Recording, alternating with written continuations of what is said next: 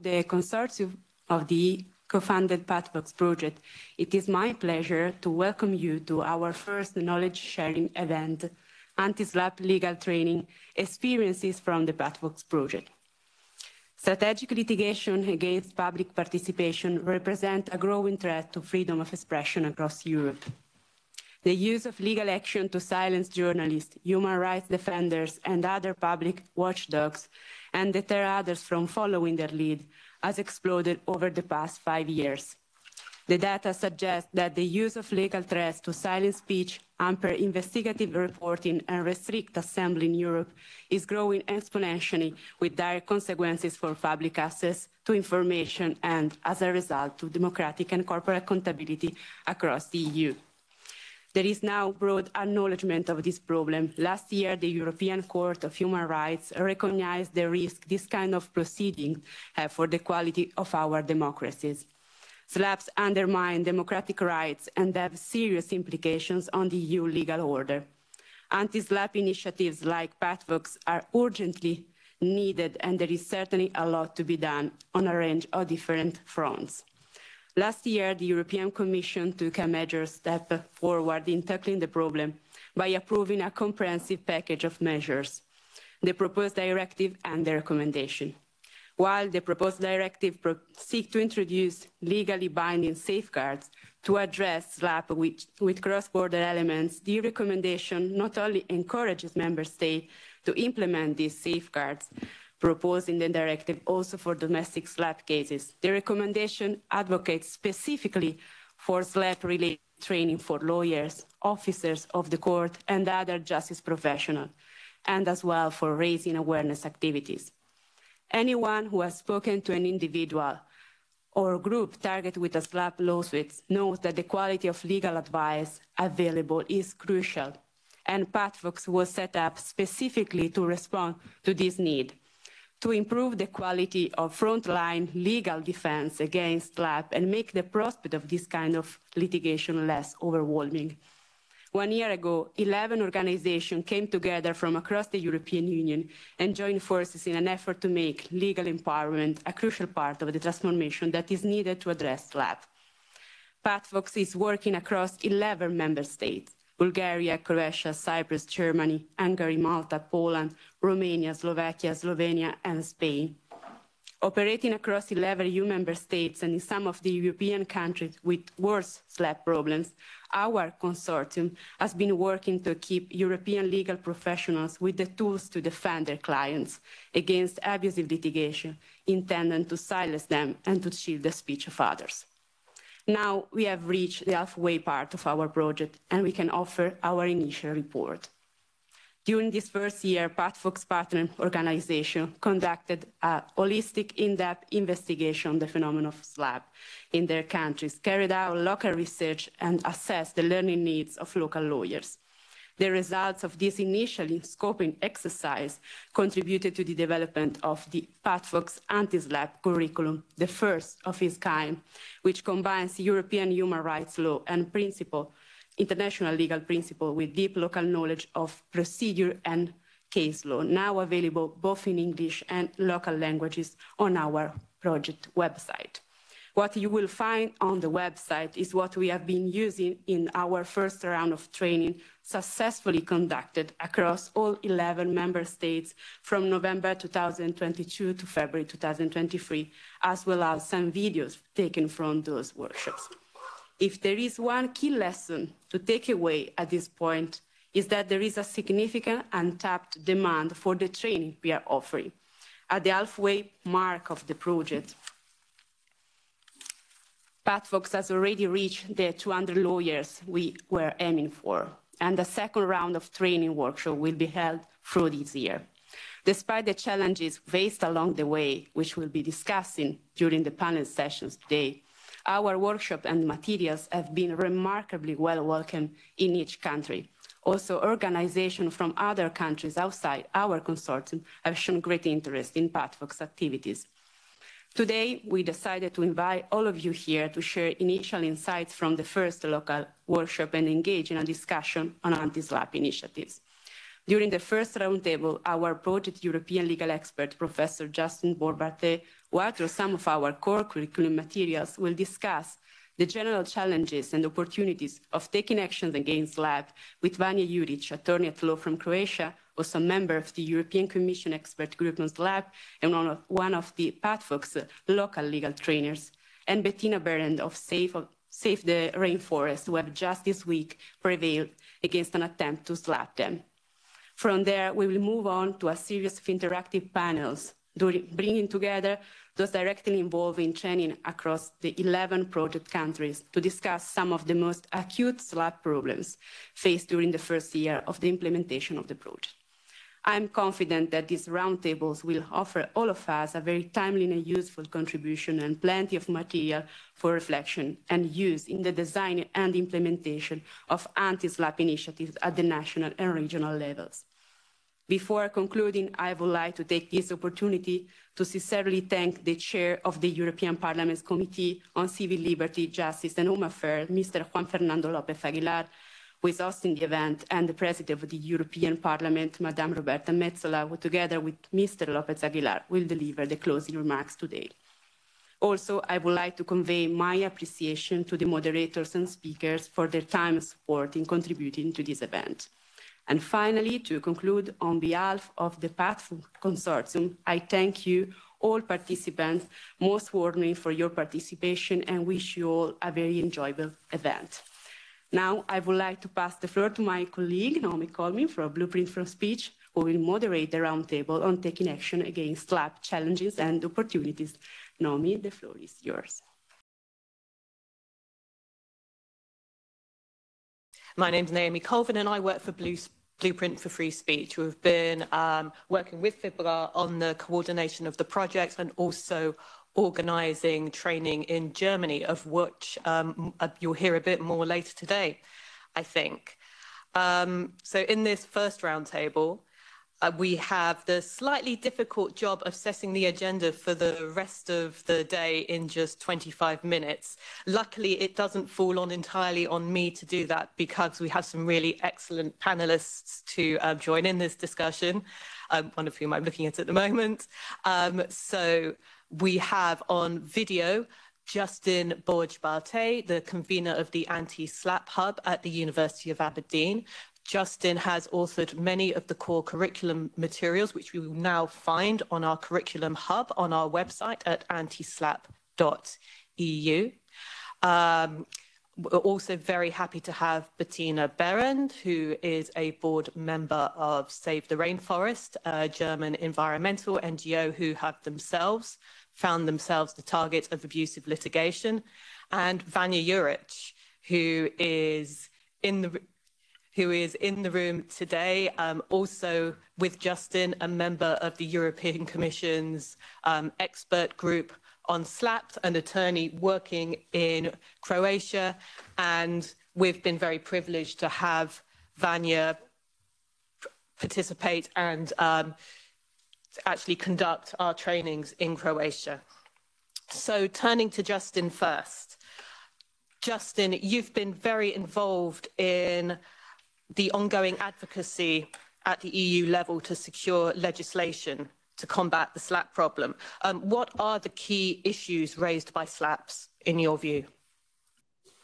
Well, obviously, there is the the key issue is obviously freedom of expression, but um, with that, I think there is a need to recognise more broadly that what we're contending with here is misuse of the legal process to manipulate democratic processes. Essentially, then, um, we see powerful actors, whether economically or, or politically, or indeed often both, using the legal process to suppress our right to know things, to know things which are of interest to us in the manner in which we are governed. And um, there is, of course, a significant problem which largely is undetected and therefore for which there is a significant need for education both among the general public but also specifically among lawyers and the judiciary as has of course been noted already um, and and with that what we need to acknowledge is that legal education does not, at this current stage, address fully the scale of the problem which we are facing. And in order to resolve this, what needs to be done is, of course, not only to um, address legal education in the traditional sense at universities, but of course um, to to help the legal profession, people who have not had contact with with uh, formal legal education for a long time, to deal with uh, with SLAPs in practice, but also to understand that we are not here dealing with a simple balance of of rights in the usual way, but what we are dealing with is misuse of process to suppress the rights of another party. Um, I'm aware, though, that time is quite limited, so I won't ramble on for too long. Thank you. No, that's great. Thank you. And we'll come back to you in due course.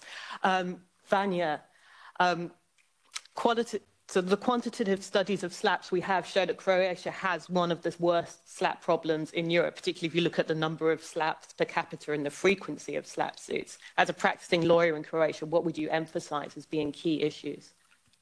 Well, um, uh, in Croatia, I'm representing one of the biggest, possibly, news portal in Croatia. Uh, many journalists, uh, many NGOs, including the Croatian Journalists uh, Association. Uh, and from my experience in Croatia over the last 15 years, I can, uh, with very much peace, say that um, SLAPs are a very serious and a very, very systematic attack on freedom of expression and on journalistic media freedoms. Um, uh, Croatia is a member state, as you said, that has one of the biggest uh, problems uh, between the other member states with SLAP lawsuits, and it really is a big problem in Croatia, hence my experience in that area. So I have seen uh, firsthand uh, what it does and how directly it can, it can harm uh, a person, not uh, only uh, personally, not only professionally, but uh, um, in the deepest meaning of the word, existentially. Mm-hmm. so in Croatia, we have, um, as plaintiffs, um, politicians, public officials, public bodies, even judges, my colleague Sanja is going to uh, tell something, something uh, more about uh, that topic.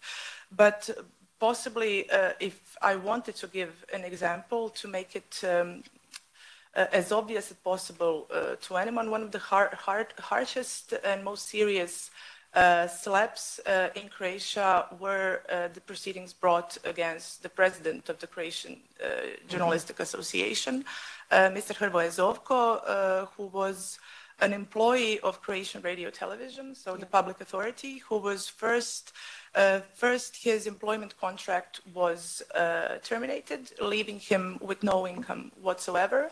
And after that, the public authority uh, initiated several proceedings uh, against him, uh, partly in damages, uh, which amounted to 30,000 euros, which is a really big sum mm -hmm. in Croatian context and also criminal proceedings uh, for defamation. Uh, so uh, all of those proceedings lasted for around four years or a bit more. All of those proceedings ended in favor of Hrvoje Zovko, but regardless of that fact, regardless of the ending, it has lasted for four or five years, and I can honest to say that it was abuse uh, for sure, uh, and it in one of its clearest uh, forms. Uh, second thing I think it's important to say is that uh, I think we already discussed it mm -hmm. to some length is that it, it, doesn't only influence the targets or the victims, but it goes to a much more broad circle of persons uh, basically the whole public, uh, and especially the people who have the persons who have actually uh, witnessed it. Uh, it causes um, a really wide range um, uh, self-censorship, chilling effects, and strives to um, stop public debate on really important questions. so as for my hopings, my mm -hmm. hopes, Um, I'm hoping that the member states are becoming aware of this problem. It seems at this point that they are, but I'm hoping we're, we're going to, to get much further than where we are now. Uh, I'm hoping that we are going to realize that it isn't something that is affecting only journalists or only limited groups of people, because it affects um, the core uh, of the European Union, our democratic values, and everything basically that is really necessary for our uh, societies to grow. Uh, and I'm hoping that the member states, and I'm going to finish here, I know we don't have much time, um, are going to put in all the necessary efforts to support the directive, uh, to apply uh, all of the principles and standards set out in the proposal, um, and to also apply all of those principles to purely domestic SLAPP cases, which I'm really hopeful of, but we'll wait and see. Will, indeed. And thank you so much for that, Vanja, and thank you for of course, raising um, what the experience of slaps is like from the target's point of view. And I think that provides a very suitable moment to speak to Bettina. So, um, hi, Bettina. Thank you for joining us. I should start by saying congratulations because I understand that the abusive litigation that, um, say, the Rainforest Rescue has been facing for many years was actually resolved in the past week and the higher court in Hamburg has vindicated you on all counts and ordered that the Indonesian company that was suing you um, has to pay the majority of your costs. Of course, that's an excellent result, but at the same time, um, you and your organization have been under threat for three years. So I was wondering if you could tell us a little bit about the background to the case and also the effect it has had on you and your organization for the past three years? Yes, thank you. Um, I will start with the effects on our work. Um, at first, uh, we were really intimidated. Uh, lawsuits were not only something to endanger financial resources, they are very time consuming and a source of anxiety. And uh, this source of anxiety can go so far and it can influence so, your work so far that you start with a self-censorship. But uh, we, of course, we had to think twice how and what to write, but we go, didn't go so far. Our source of anxiety more, was more directed towards our partners in Indonesia uh, when our partners in Indonesia realized that Korindo is powerful enough to sue us in a German court, they felt quite helpless at first. And uh, we um, support our partners, and it is important for us to keep them safe. Um, we uh, we were lucky to have the Packard Foundation, uh, which backed us financially during the uh, lawsuit. And um, now we come to the case. We were also lucky that the plaintiff made mistakes. Uh, we were sued by Canatech, a wind energy company in the Con Korindo conglomerate. Uh, but our letter was uh, about Korindo's destruction, rainforest destruction in Papua. And therefore, the, uh, the court indicated that uh, Canatech had no standing as a plaintiff.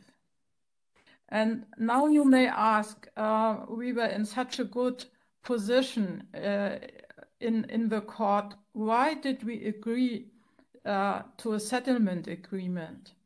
And this is also something that it's not on one level. We did it uh, and somehow we did it as a responsibility towards our partners in Indonesia. Uh, because I will tell you how it could have been uh, or how it could have ended if we had continued or if we had to continue. Um, the worst case scenario would have been if the court had called for victims from uh, Papua to testify. that would not only have been extremely costly. In uh, Papua, a massive military presence protects the interests of the corporations there. And this chilling effect of the military would have made it very difficult to get open testimonies. And this is uh, now you can imagine easy uh, how badly things have could have come to us if we had to continue this lawsuit. Thank you. Yeah, thank you, Bettina. That's really important to hear, particularly the risk that your SLAP presented for your colleagues who would have found themselves in a very vulnerable position in yeah. Indonesia. Um, Justin, hearing stories like Bettina's, and I think we'll hear a bit more later on about um, the frequency of these kind of suits in Germany, do you think the um, prevalence of slaps and the frequency with which activists and journalists are being slapped is fully appreciated by legislators or you know other other representatives you've come across work, you know, in this on on the when trying to persuade people about this issue? Thanks, Naomi. Well, um, certainly some legislators appreciate the, the full extent of slaps because um, it's not entirely unheard of for um, politicians to be plaintiffs in slap suits. But um, in terms of um, legislators seeking to combat slaps, I think what we have still at this stage is some pockets of um, uh, of, of, of activism where we have a number of people who are seeking to overturn the orthodoxy in our understanding of how to balance rights as between plaintiffs and respondents. Um, so ultimately, the, the short answer to your question is no, I don't think we have sufficient awareness at this stage um, and indeed, that is to an extent reflected in a degree of reticence to extend the scope of the EU's proposed of the European Commission's proposed directive, and indeed um, out with the European Union um, in the United Kingdom. There, while there is some movement in England and Wales, for example, in Scotland, there remains um, resistance to the adoption of legislation. Now, I'm using the Scottish example because that's something we're working on at the moment. Um, but it is a good example of a jurisdiction which has sought to, um, to, to safeguard freedom of expression through legislative interventions, but where legislators, in the greater part, do not fully appreciate the fact that simply changing defamation law is not enough. For two reasons, of course, because defamation law is not the only route to bring a slap case, but also because um, it isn't simply about the balance of, of substantive rights, but it is more importantly about procedure, about providing comfort to respondents in SLAP cases that they will um, not during or after proceedings be in a worse position than they were previously, and indeed that they would be able to um, have proceedings dismissed at an early stage without having to settle um, in a manner which is not actually uh, um, balanced, um, because of course what we have is a negotiation in which one party holds all the cards because they are um, ultimately wealthier. So, um, short answer: no, I don't think there is sufficient um, awareness. But of course, um, I don't think we need to be too pessimistic. The degree of awareness is far greater now than it was previously and um, through initiatives such as this and, and other related initiatives, um, that, that awareness is increasing. Brilliant. Thank you very much. And I'll turn back to you, Vanja, for a final word, if I may. Um, so, as we've suggested at a few points in this discussion, the draft directive that's under discussion at the moment and going through the processes in this place and others um, deals primarily with cross-border cases, whereas actually a, this, and you know, Bettina has been describing sort of an emblematic cross-border case, but then a lot of the cases that you deal with and all the other colleagues we'll hear from today on the ground are Croatian cases which are launched by Croatian plaintiffs against Croatian defendants. Um, what contribution do you think projects like PatFox play to helping with that side of things, and what else do you see that needs to be done? Uh, I'm actually uh, when we talk about PatFox and this project and what you are, what all of us are doing, uh, I'm very happy that education and training have been uh, recognized as one of the uh, first and possibly most important steps uh, regarding the the directive, the proposal of the directive and its application. yes, I would bet that possibly 90% or 95% are purely domestic cases. Mm -hmm. uh, and that's why it is really necessary for the member states uh, to consider applying all of those mechanisms from the directive in, into our national legal systems, applying also to domestic mm -hmm. cases. But education and training uh, is a topic I have been insisting on for a very long time. Also in Croatia, we are having panels and discussions uh, about it. I'm not sure uh, if I have been taken rather seriously, but I really do appreciate any outside help uh, you have been offering. Uh, so. Um, uh, freedom of expression uh, and media freedoms, I'm not sure whether general public understands it, but it's a really complicated legal area uh, where you need to know not only national regulations, but uh, international documents, uh, rulings of international courts, especially the European Court uh, of Human Justice, of Human Rights, I'm sorry. Um, it takes knowledge. And from Croatian experience, we have our national media laws, we have regulations regarding freedom of expression. We have been having them for decades, but we still in practice have very big problems with application of fundamental principles uh, of freedom of expression. So the reason for that uh, is lack of knowledge. Mm-hmm. Um, and the only way we can battle SLAP um, uh, is by uh, educating practitioners how to apply not only the directive when it's in force, hopefully one day, but also the, the main principles uh, of freedom of expression. Uh, just to give you a short example, and you'll see what I'm talking about, uh, the proposal of the directive uh, defines SLAPP lawsuits as manifestly or mostly un unfounded. It's one of the first steps, in, and it's going to be a first step in any case we mm -hmm. get. So for a person to be able uh, uh, to differentiate, to, to distinguish whether uh, a lawsuit is manifestly unfounded, uh, they will have to know all of the main principles and standards um, of freedom of expression, uh, all of the national regulations, but also uh, rulings of the European Court of Human Rights over the last 50 years. So no one with, without that knowledge, it's not going to be able to do it. Um, so to sum up, uh, trainings um, um, um, are extremely important, and I would even dare to say that education and training are a precondition for application of all of the mechanisms uh, from the anti-SLAPP directive.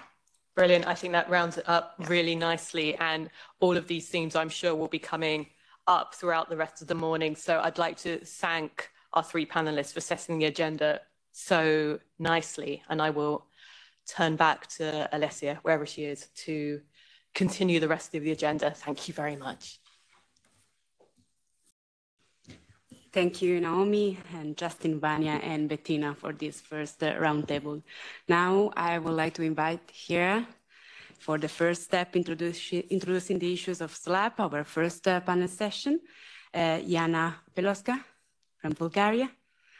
From Cyprus, we have Professor Maria Krambia Kapardis and Theodoros Economou, and Anushka Pavlis from Slovenia, and uh, also uh, from Slovakia, Ivan, who is going to moderate this session, and Tomáš.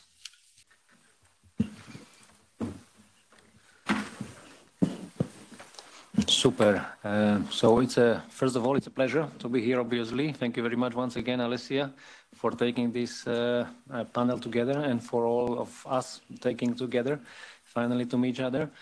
each other and uh, to speak maybe on more practical issues uh, concerning not only the project but also of uh, concrete issues in specific countries. Uh, I'm, as Alice already introduced, I'm Ivan Godarsky, coming from Slovakia, from M98 NGO. Uh, we are based in Bratislava. We are dealing with uh, media monitoring. That was our prime task, but uh, since uh, our name indicates, we have been established in 98, so basically 25 years almost ago. And since then, we moved from area of media monitoring to different areas, disinformation, technical assistance, to media regulatory bodies, to Central Election Commission. Uh, we are doing uh, quite a significant uh, load of work concerning elections, election integrity, taking part in election observation mission. Currently, my colleague is in Nigeria in a EU election observation mission. And obviously, the media freedom and the legal framework in which the journalists are, are working is one of the essential areas. So if the if the field can be improved and and, and uh, conditions of all those uh, involved uh, can be can be moved to another level, that's exactly what we are very much interested in. So it's my really pleasure to host this panel. I don't want to speak too much. I'll pass floor to each of uh, the panelists, but then maybe if there will be space, I might have some questions to to add. So maybe without further ado, let's pass the floor to Yana. Uh, and she can tell us what are the issues of uh, SLAPP, because this panel is called Introducing SLAPP to, to, to some countries, as this is a, re a relatively new phenomenon. So maybe what are the issues in Bulgaria in this sense? Thank you very much. Hi, everybody. My name is Yana Pelovska. I'm the managing director of the Media Development Center in Bulgaria. Um, introducing SLAPP. It's, it's a big thing and a big issue everywhere around Europe uh, nowadays. Uh, but as I was supposed to, to speak firstly for Bulgaria, I will uh, give you some background information. Firstly, um, our country um, unfortunately has a very bad reputation as a media freedom wasteland. This was a, a definition uh, invented by the foreign correspondent, a very good one and a very sad one. Uh, unfortunately, uh, so the, the journalist and the media freedom very often is repressed by uh, gray areas, by uh, political figures, public figures, businesses, etc. Uh, the mo- um, even though the, the ranking of Bulgaria regarding the media freedom has improved a lot in the past year, um, still, uh, we have plenty of uh, cases that now can be uh, freely called SLAPP cases. Uh, just a very brief example for some recent cases in the last months. One of them um, of uh, investigative um, online media that was sued from um, uh, investment holding for half a million euros and uh, a journalist sued by a former judge for 34,000 uh, euros. I mean, plenty of cases. Um, they were not uh, very well defined so far as uh, SLAPP cases. Now the whole process is starting in Bulgaria, and obviously, uh, being a journalist and working as a journalist in our country is still not an easy job. Um, so Talking about introduction of SLAPP, we can say that in Bulgaria, uh, this starts now. Uh, it was just a few weeks ago when um, the caretaker government of justice, Mr. Zarkov, announced, unfortunately, we have a caretaker government. We are in a very bad series of uh, four or five elections for the last two years, which makes the things unstable and also makes uh, I suppose we have difficulties with implementation of the directive because it's a matter of political will and working groups and, you know, the whole system should be working properly. So we have another elections in at the beginning of April. Let's hope that they will continue, uh, the next government will continue the, the support of the current caretaker uh, uh, Minister of Justice, uh, who announced that the Bulgaria uh, the Bulgarian state supports totally the, the initiative, that measures uh, should be taken, that working groups will be settled uh, working on that, that uh, debate is needed uh, involving journalists, human rights defenders, and uh, legal experts, which means that there is a um, clear political view, but as I said, it's a, you know, it's not a temporary uh, government. Um, what we found out during the, the first trainings we, we had in uh, Sofia and um, the first insight, so to say, is that first of all, uh, the warriors need a clear, uh, a clear definition and um, this kind of cases should be distinguished very uh, clearly. Because so far the, the legal experts are referring to um, the European Court for Human Rights, uh, practices of the European Court of Human Rights, uh, the freedom of expression, of expression, the rights of uh, um, expression, but uh, they don't have their tools and really, how to say, uh, domestic practices, practices of domestic courts that they can refer to. So it's a big practical problem for them. Um, and they will need uh, more knowledge and more information on how to, to practice this, uh, referring to some court cases and uh, regulations. So what is needed is first of all to a kind of analysis in Bulgaria because we still don't have even a statistic on the SLAPP cases. Uh, there is unofficial information gathered by the non-governmental organizations that the SLAPP cases are more than 300, but still it's not official. So we need a clear analysis on the, the cases. We need um, uh, criteria to, to define them. Uh, and then we need measures to be taken uh, in the local legislation and uh, clearly a debate on that involving uh, stakeholders like um, political, the political figures, the journalists, the human rights defenders, the legal experts. Very good. Thank you very much. Those are quite some issues on the plate. Let's see whether there will be time to, to discuss them further. Okay, thank you very much, uh, Yana. Now let me pass the floor to Maria and Theodoros from Cyprus. Hello, uh, my name is Maria Kapardis. I'm from Cyprus University of Technology one of the partners of the project. And with me is um, the legal trainer, Mr. Theodoros Economou, who um, is an attorney in Cyprus. I will briefly discuss with you the, the state of practice or what we found out from the case studies. Um, there are no published court cases in Cyprus regarding SLAPP. The phenomenon of SLAPP is largely unknown, um, even for legal professionals. Uh, we did um, find one particular case which is now um, pending in court uh, relating to a journalist um, and undue pressure in order to silence uh, him in Cyprus. We carried out the first workshop in November in Nicosia, where we had um, 20 lawyers attending. And in that particular session, Mr. Theodoros Economou covered the anti-SLAPP and the legal framework in Cyprus, the challenges and the opportunities, uh, which he will discuss with you shortly. We also had Professor Justin, um, whom you have heard from before, discussing the proposed directive. And um, given my background in forensic um, investigations, I covered um, how people can be helped um, and what they need to know in order to be avo- to avoid being caught up in a SLAPP case. Um, looking at uh, fraud investigation, forensic accounting, um, and the floor is yours, um, mm-hmm. Um, first of all, I would like to thank the organizers of this event for giving us the opportunity to share with you our experiences uh, on SLAPP um, indeed, in Cyprus, um, there are no published court judgments, so we don't have a judgment saying that this is a SLAPP case. Um, however, we are, are not uh, clear whether there are SLAPP actions, but we are not aware of. So uh, it's a bit difficult to uh, understand uh, whether there are instances of SLAPP in Cyprus generally. Uh, also, another thing I would like to say is that the court fees in Cyprus are quite low.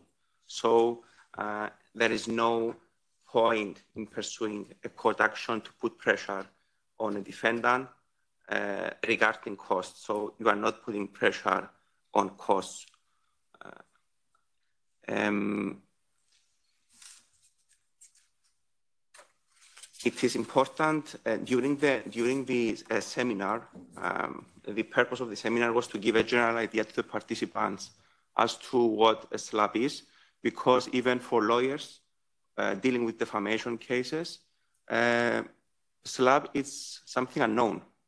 So we had to give them an introduction to what a SLAPP means and then to discuss the directive and all these uh, very useful safeguards introduced by the directive.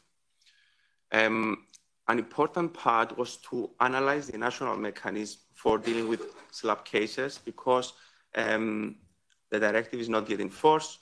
So what lawyers have as a tool is the national mechanism. Um, we, for example, in Cyprus, you can strike out an action if it's frivolous and vexatious. But again, these mechanisms are not uh, always useful because um, there is case law that you can strike out an action only in exceptional circumstances. So it's not something that it's done as a matter of course, but it's something really exceptional.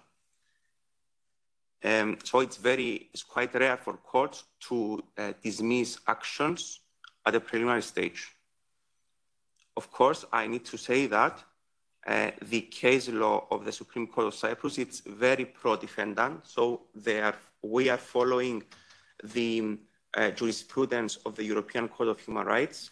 And recently, there are many defamation actions which are dismissed, not at the preliminary stage, but uh, at the hearing, at the final hearing of the of the of the action. Um, so uh,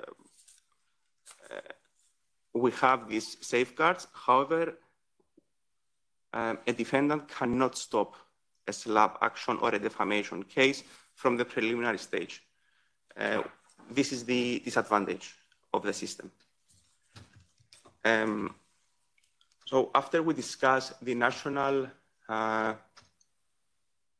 case law and the um, procedural safeguards, we went on to discuss the uh, directive and how the directive will enhance the protection of SLAPP uh, victims.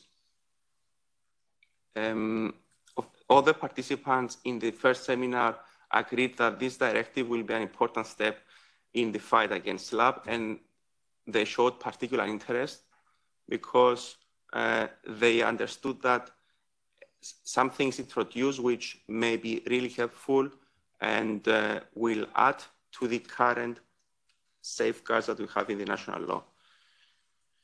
Um, however, some participants raised concerns as to the implementation of this directive, whether this directive would be smoothly uh, implemented and transposed into the national law, because it's not enough to just copy paste the directive. You need to um, explain in detail the provisions of the directive and the mechanism that these uh, tools will be used. Um, okay, so um, overall, uh, the, direct, the, the, participants were um, quite satisfied with the uh, seminar. Uh, we had uh, questions as to the provisions of the directive. Uh, also, we had Justin who explained in detail, and it was very helpful to, to explain the um, provisions of the directive. And we are planning, as uh, Ms. Kapardis will say, we're planning to have another seminar and lectures uh, to introduce this directive, possibly to not only to lawyers, but to even broader uh, scope of people who are interested, maybe journalists and students. Yes, thank you very much.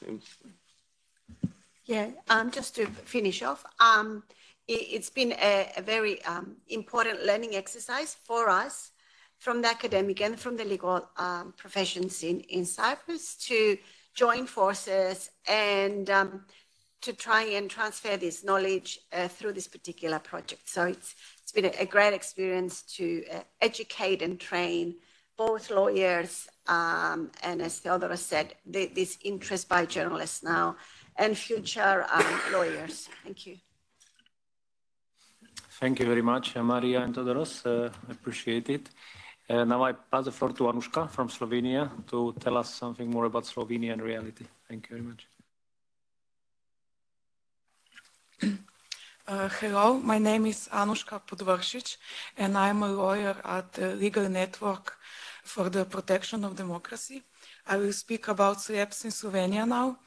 Um, legal network consists of four NGOs, and one of them is open, so the Slovenian partner in this PATFox project. At, uh, at legal work, uh, at legal network now for two years, we are working with many lawyers to help people who find themselves in a legal process that are uh, unconstitutional. Uh, a lot of our work is about freedom of expression, and that is where we came across SLEPS. SLEPS has been present in Slovenia uh, for many years now, but just recently people have started to understand them as SLEPS, and they start to understand that we need a different approach than uh, usually. Uh, for for the PetFox project, we organize uh, training and uh, training for lawyers and a roundtable event, which was more public. Uh, the training consists of two lectures. One was by attorney Jasna Zakonšek, she's our trainer, and uh, other was by well-known uh, law professor uh, Aleš Galič. We were very happy that many people, many lawyers came to the training. We think because of the professor, but also because Legal Network has a wide reach now. Uh, on the round table, there were different speakers, a judge from Ljubljana High Court, a representative of Ministry of Justice. One of the um, speaker was also victim of SLAPP, a journalist from the website called, called Necenzurirano, Uncensored um, a businessman uh, and a tax advisor of our former prime minister uh, Janez Janša. Uh, his name is Rok Snežič. He filed more than 40, 45 private lawsuits against uh, this um, website. Um, during the event, we highlight some talks specific to the Slovenian context. Um, the proposition of the new anti-SLAPP directive is generally seen as very welcome, but however, it doesn't mean that the directive will change the issue of SLAPP in uh, Slovenia. There is a big fear how the directive will be implemented into the Slovenian legislation. Um, in Slovenia, there is a lot of criminal procedures, but the directive refers only to civil proceedings. Professor Galič also mentioned the possibility that anti-SLAPP law will not only uh, be used by the good guys, but probably also the bad guys will use the anti-SLAPP law. So it's possible that this anti-SLAPP law will make the whole process even more expensive and more longer. Um, thank you for your attention. Uh, okay, thank you very much, Anuška, for the moment. Uh, now I pass floor to Tomáš uh, Langer, who is uh, attorney at law in, from Slovakia. He was the main author of the curriculum for Slovakia, as well as the he was the main person who conducted the training, which we had in Bratislava in December. So I pass floor to him to present the situation in Slovakia. Thank you, thank you, Jan. the situation in Slovakia is developing. Uh, well, uh, first of all, uh, I'm very glad to be here. My name is Tomáš Langer. I'm an attorney in Slovakia, and I've been representing media and NGOs for about 15 years, and mostly at the courts. Uh, it includes uh, major TV broadcasters in Slovakia, uh, the largest publishers, NGOs, and radio broadcaster, and the largest news internet portals. Uh, at the beginning, of course, that 15 years already back, I had no idea about SLAPPs. I had no idea about that abbreviation.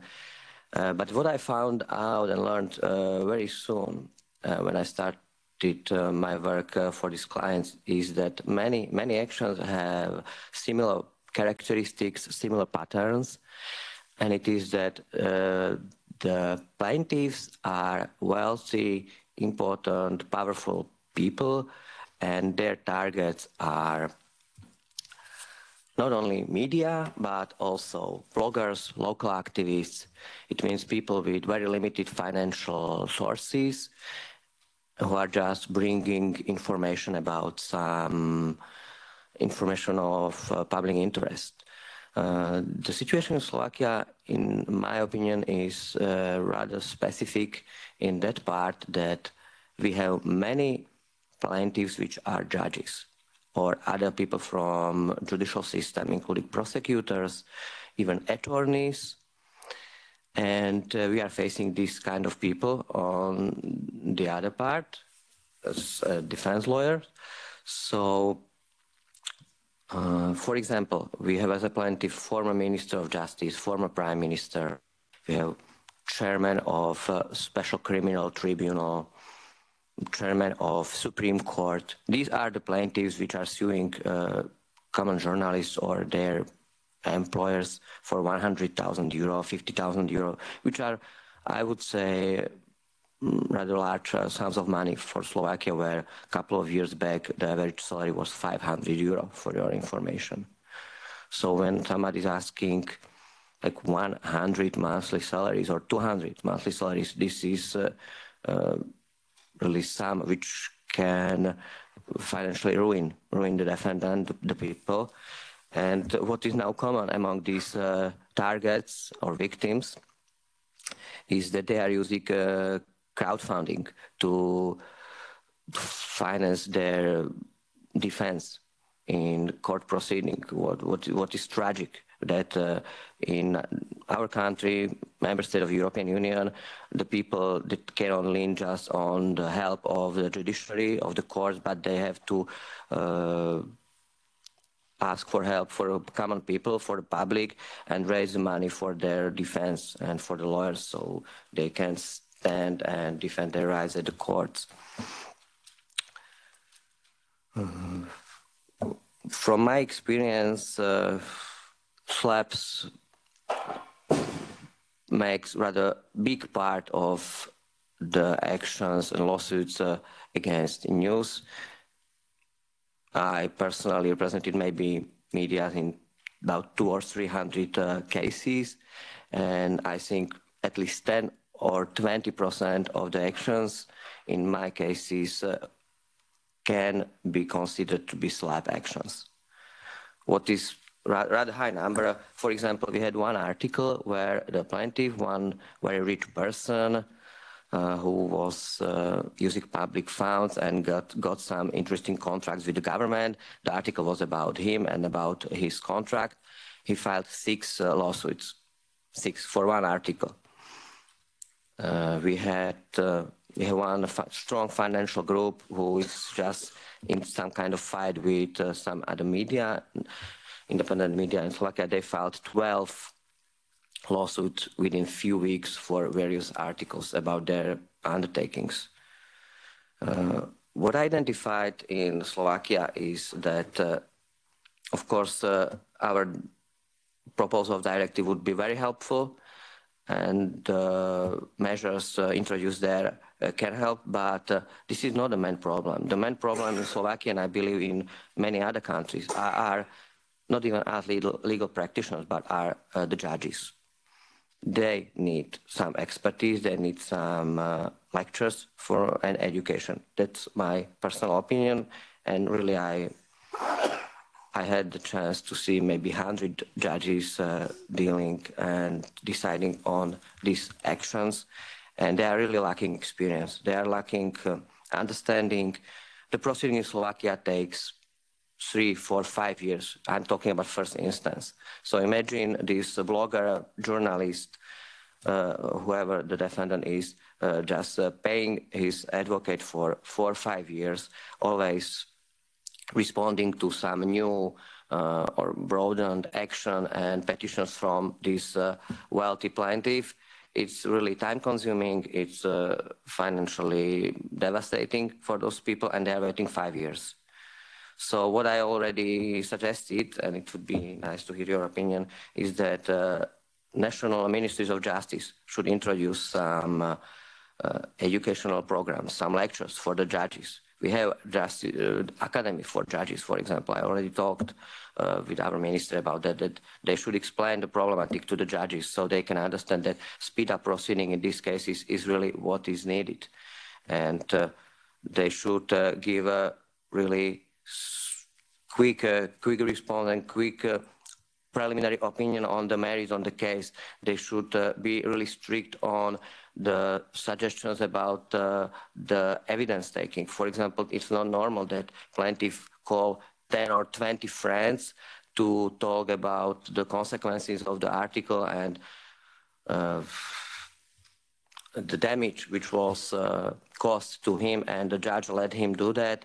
And we are meeting there 10 or 15 times. We, are we have 10 or 15 oral hearings and we are listening to the friends of the plaintiff who are describing how bad the media is and how it harm made harm to the plaintiff. It's uh, absolutely it's not relevant to the case and it's bothering and uh, prolonging uh, the proceeding. And this is something what the judges they don't care i would say. Somebody don't realize it somebody don't care and this is something what should be improved. Uh, sorry that it took so long that's just my preliminary thoughts and i will be happy to carry on. No not, not at all. It was it wasn't long. We still have quite some time. So maybe I'll just follow up on this because I had a feeling uh, from Yana, what you said from Bulgaria, that you have also feeling that there is a missing uh, not only experience but practical uh, lack of knowledge how to actually implement it. We were in discussing this with uh, Tomáš, what he just said, and that uh, in Slovakia we really feel the justices or the judges should be maybe taken separately. That the trainings and that's actually the idea of uh, the follow-up in Slovakia to conduct training, possibly also for judges. So my question is whether you would feel something like that uh, is an issue also in your countries, and uh, you think it's feasible because that's another question we might uh, face. Like one thing is whether you think it's important. Second, how feasible it is. It's important to be practically conducted. So maybe I pass the floor. I start with Anna, because you mentioned, but maybe others can also join the discussion. Whether you think it's important to go farther than. Yes, definitely there, there is such a need. And um, as I said, the, the main issue and the key issue, the key determination, so to say, is to really to, to find precise and clear uh, criteria to distinguish these kind of cases, because this is one of the things we, um, even in Bulgaria, some of the lawyers, uh, they call them uh, cases with elements of swap because it's not clear. I mean, it's not defined still. So this is one of the things that should be put on the first side because you can't defend, you know, journalists or human rights uh, uh, defenders, etc., if you can't define the the case. Okay, okay, that opens another another chapter, but let's follow the, the line which I uh, raised. Whether you think the judges should be maybe approached in some stage of the project, maybe Maria and then Anuška tell us. Basically, the more people we train, uh, these are the judges or future judges or journalists or um, they should all be educated on, on what is SLAPP and anti-SLAPP legislation and, and their needs, freedom of information, um, and public speaking. Um, so I think all, all, these, if we're going to have a holistic approach to the whole topic, we uh, we certainly need to open it up and uh, get this wider um, group or uh, aware, or even just the general public, or even academics, because even academics in our own research, sometimes we are forced as to what we should and we sh- shouldn't publish. So I think it is important that this issue is, does open up to a wider group of, of people. But would you exactly exactly? I think that's that's a very, good, a very good point. But do you think it would be even essential because we felt that's why Tomáš mentioned it. I, I fully support what he said. Is we feel like it's even essential really to go further than for the lawyers because lawyers are on one side of the problem but the, the, essential part of the problem is that there is no real understanding from the side of the judges what does it mean what's the implementation so for us it looks like not that we would like to widen it which i fully agree but actually it's it's crucial step to get them involved uh, in order to this this process to, to be functional yeah, yeah? essentially mm-hmm. i think judges should be uh, uh, whether it is feasible because you also said okay is it is it feasible? Exactly. Okay, that's maybe that's something that Theodoros can uh, can look at whether mm-hmm. it is feasible. Mm-hmm. Yes, uh, if I may add, um, okay, it depends on the system of each country. So in Cyprus, because it's an adversarial system, which means that um, issues are brought by the lawyers. Mm-hmm. I think it is very important for lawyers to understand what SLAPP is. Mm-hmm. Um, and because in order, f- even if the judge knows the concept of SLAPP, if lawyers do not argue it before him or, or her, um, it will not be included in the judgment. So uh, I think that uh, it is very important for lawyers. I'm talking about Cyprus now. I don't know in other jurisdictions. For lawyers to understand in order to raise it in future cases, and then judges will become aware of it through uh, court, the court process. Of course, it is always a good thing uh, for everyone to be educated on uh, new uh, issues and directives.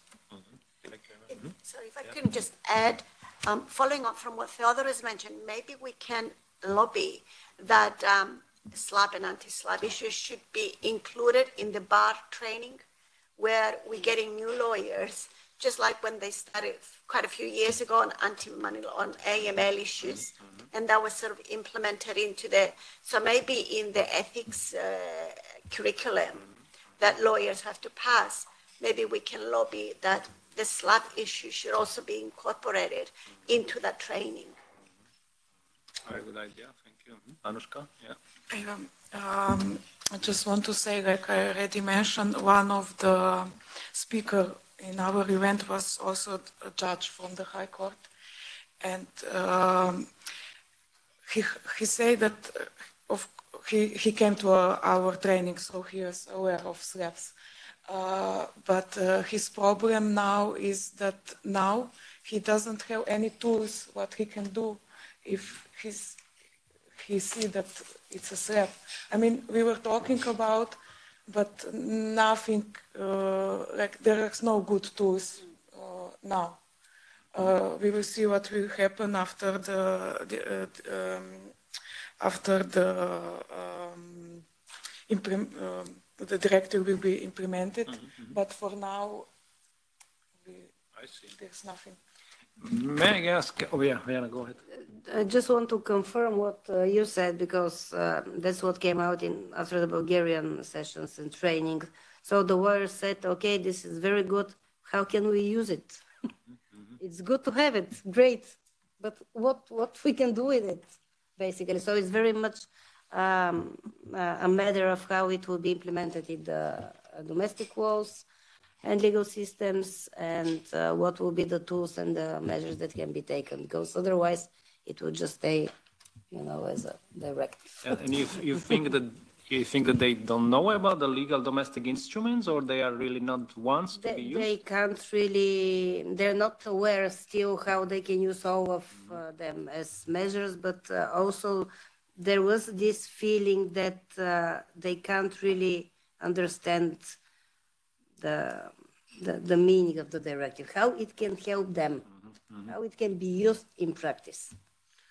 That's a very good, tool, a good point also for us because, for example, we didn't have Justin for our first training. Maybe it's important also to have him to in, in explain properly what the terminology is. Even for Tomáš is the one who is commenting, and in Slovakia the process maybe is a bit more open. The ministry is consulting some prominent lawyers, so they are involved in commenting it. So it's not really closed closed uh, channeling, uh, but definitely that might help. My, my one question would be if there are no comments on this uh, for you, Anuška, because Slovenia is not that big country, Slovakia is not that big country, and I was a bit fascinated hearing that you had so such a big panel, actually, everyone being there, because for us, uh, we had some lawyers there. We want to have another group of lawyers, maybe different regions. Also, we plan to have a, one training for NGOs, for media representatives, because that's for them. But I'm asking from the perspective that usually lawyers are really specified in some areas of the law. And uh, that you said that yeah, there was such a huge interest in Slovakia. Actually, we felt that yeah, there are some who, who are really interested in this topic, but there's not that many of them because Slovakia is actually limited number, limited country, and uh, Tomáš is probably the most prominent one, so he is the most important. So how come that you brought actually such a big uh, scope? That was the question. I mean, big. I don't know what, what you understand as big, but like on the uh, on the training, which was meant just for lawyers, uh, like more than 20 lawyers came. For for us, this was a really great number, and they came like attorneys, and they came also from the um, from the government and from uh, um, like different uh, lawyers. Um, uh, I think many came because we managed to get this professor. Uh, he's very known. Uh, and um, I don't know. I, I think maybe just we choose a good day, a good day. yeah, that helps. That really helps. And uh, also, legal network is uh, very known. Like, and we work with lawyers for two years now. We work with attorneys for two years, so they know us. Very good. Uh, excellent. Uh, maybe one, one question for, for the future. We still have some time. Uh, because we organize probably each of the organizations organize first set of trainings and we are preparing second one. Is there anything which you would like to change or what was maybe the lesson learned from the first training? What do you think should be added or should be done differently? Uh, or no, you were perfectly satisfied how it run and uh, you would run it the same way. So maybe we'll start, Tomáš. What do you think? Yes, yes. Uh, we have first session after us. We organized that workshop in December. It was great experience for me, but. It was interesting ideas to hear that maybe some guests from other professions would be beneficial and could give some extra value to these workshops. It means the prosecutor talking about uh, criminal proceedings and uh, slander, defamation, and also judges. Judges are very valuable persons and they are very complicated, difficult to get an invite somewhere. And they are living in their social bubbles in Slovakia. I mean, literally, they are trying uh, to make some distance from other professions.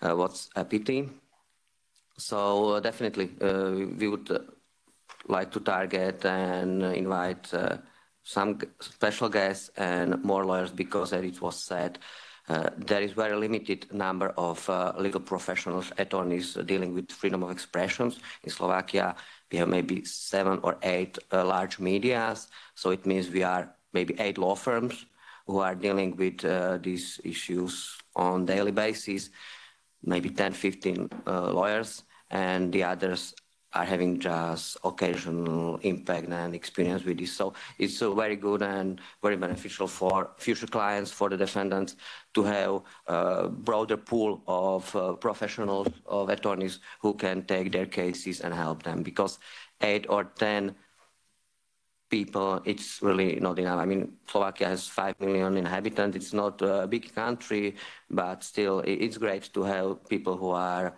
doing this with passion, who like and who believe in freedom of expression. This is the most and crucial key, I would say. And uh, if I if I may add, I realized one thing. Uh, we have in Slovakia last week we had a very sad uh, anniversary. It was five years since the murder of journalist Jan Kuciak, and uh, our politicians uh, celebrated it in a very special way with uh, frontal attacks on journalists in all fronts. Uh, now we are having new criminal proceeding for threats uh, making uh, by opposition politicians and by anonymous people on internet against Slovak public media and TV anchor working there uh, just because uh, she was not accepting uh, some politician who wanted to get to some political debate. I mean, absolute crazy. So politicians are last years, and it's former prime ministers, two of them, they are just attacking journalists, they are spreading uh, hate speech, threats, and the mobs, the people, anonymous uh, people on internet are just taking it over, and these uh, actions against journalists are getting more and more serious. What I realized, in my opinion, this is a new way of SLAPP. Oh, really, I'm not. I'm not joking because last two years since COVID, I had to help also other people, and I had to defend uh, uh, doctors, scientists, uh, and some uh, activists who were fighting these conspirators and uh, they were just trying to protect themselves against this mob because it was really crossing the red line many, many miles. And SLAPP, in my opinion, it's not just legal action. It's, just, it's also action, any action, frivolous action, which is trying to just harass the journalists or any other people acting in public participation and uh, making uh, hate speech via internet, via social media and making threats and trying to spread fear and many other people are following these threats and carry on. This is for me also SLAPP which needs to be battled. Thank you. Thank you very much, Tomáš. Yeah. And any other thoughts on the lessons learned from the first training round? Yeah, Maria? Well, um, in Cyprus, which is a, a, small country, a very small country, um, we, we the first workshop was run uh, at the Law Institute, uh, and it was basically to set the framework of what is SLAPP, anti-SLAPP law, the proposed directive. Um, the, the idea we have now with Theodoro is perhaps we can organize it in a different town to attract a different crowd.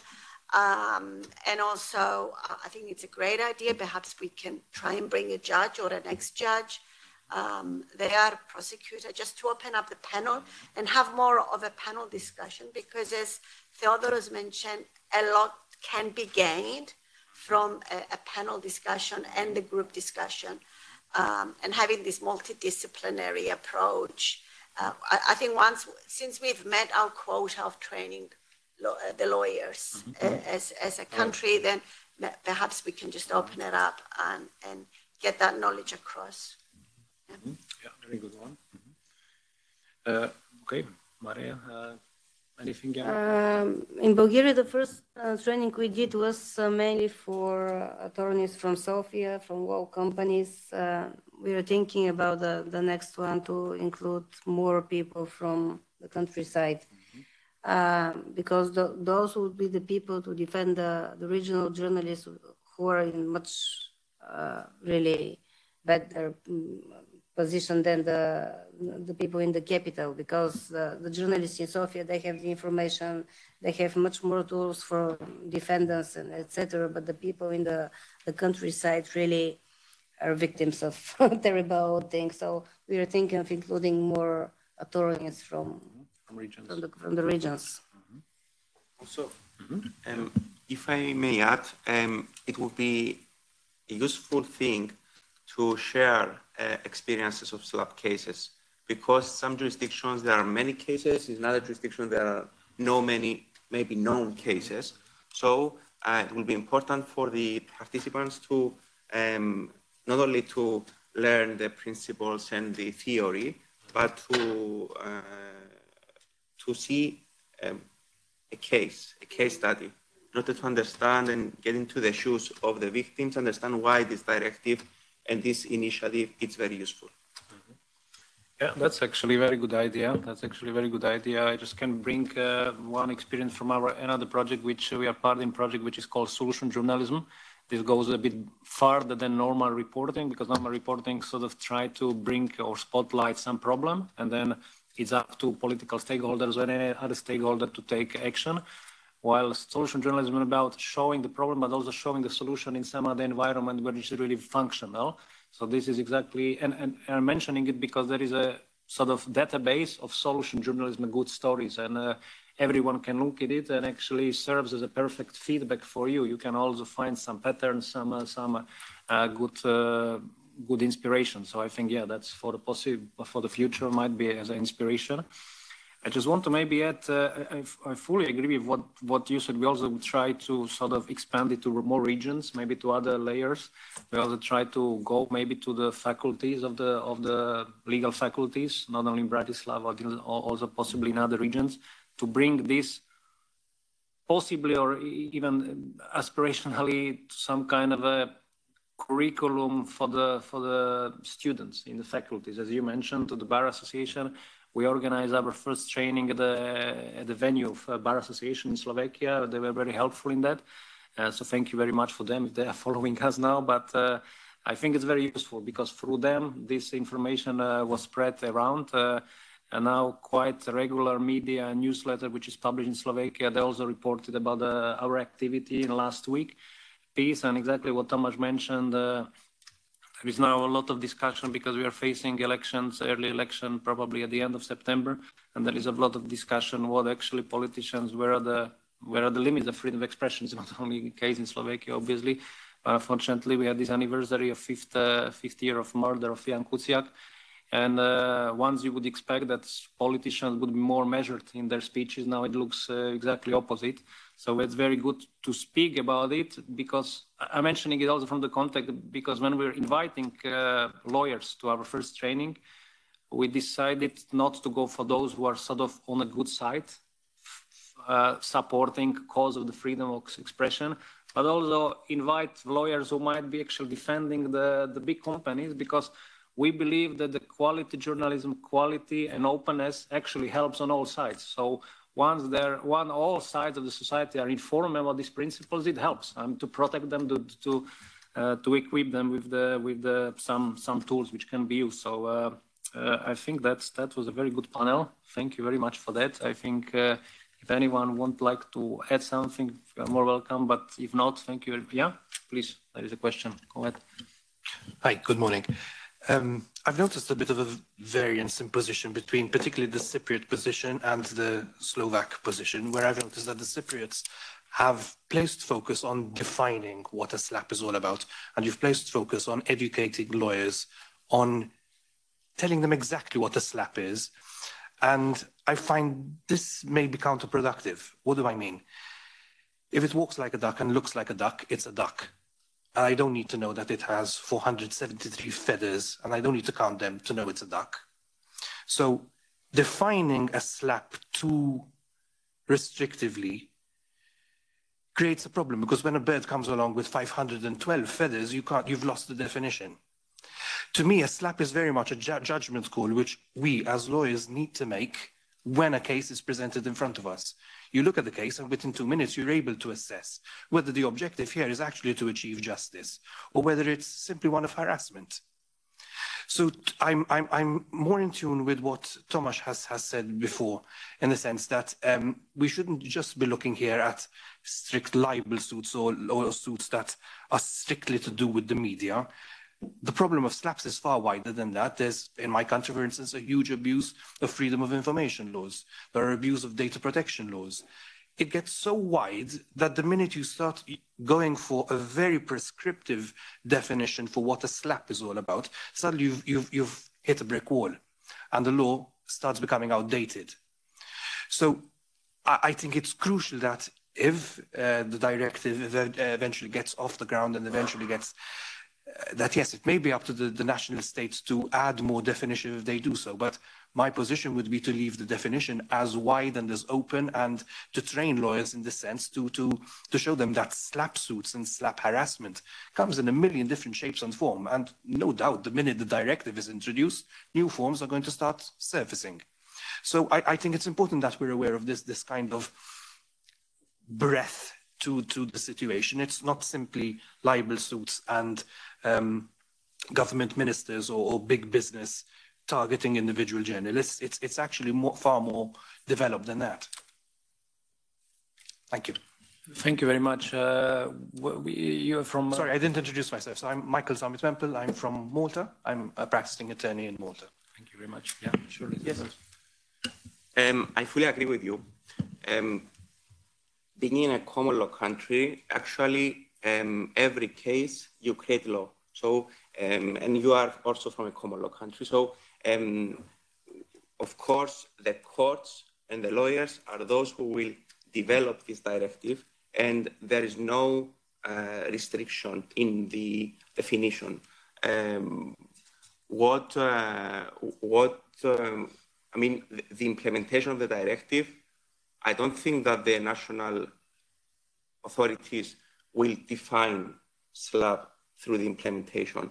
Uh, probably they will define the mechanism and the procedural uh, manner in which you can raise uh, any issue regarding the SLAPP case. But I don't think that uh, the national authorities uh, should even try to give their own definition on what SLAPP means, which I think it's quite clear from the directive because uh, if we're talking about an unfounded and groundless uh, claim, um, then you apply, of course, the national law and the jurisprudence of the European Court of Human Rights to define whether this case is indeed groundless or not. So I fully agree that uh, there should be no restrictions because every case is different and every case has its own uh, facts and uh, challenges. Uh, so yes, I, I agree. Uh, thank you very much, Theodoros. Yeah, that's a very good, uh, very good point. But I think that's uh, we're not going to solve it this or that way. Probably. I mean, everyone has different approach. Every country has a different experience and knowledge. I think, and also different tradition. and mm, uh, please, but not least, uh, I don't want to go over a coffee break. So, uh, but it's a good topic to discuss it further on because I fully agree. I mean, uh, we might have this issue now, but in one year in Slovakia might be different issue uh, being much more pending. So, uh, yeah, thanks you very much once again for question. Thank you very much for your uh, presentation. And yeah, let's have a break probably. Thank you very much.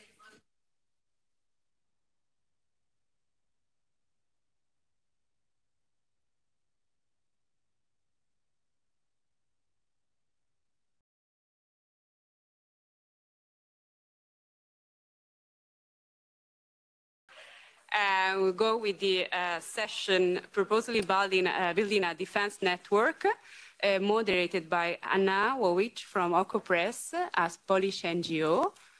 Anna, please join us.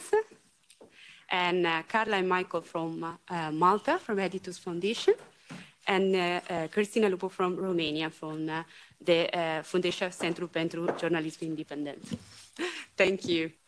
Okay, so Good morning, everyone. Um, thank you very much for staying for the second session. Uh, and I have a pleasure to chair a panel discussion entitled Purposely Building a Defense Network.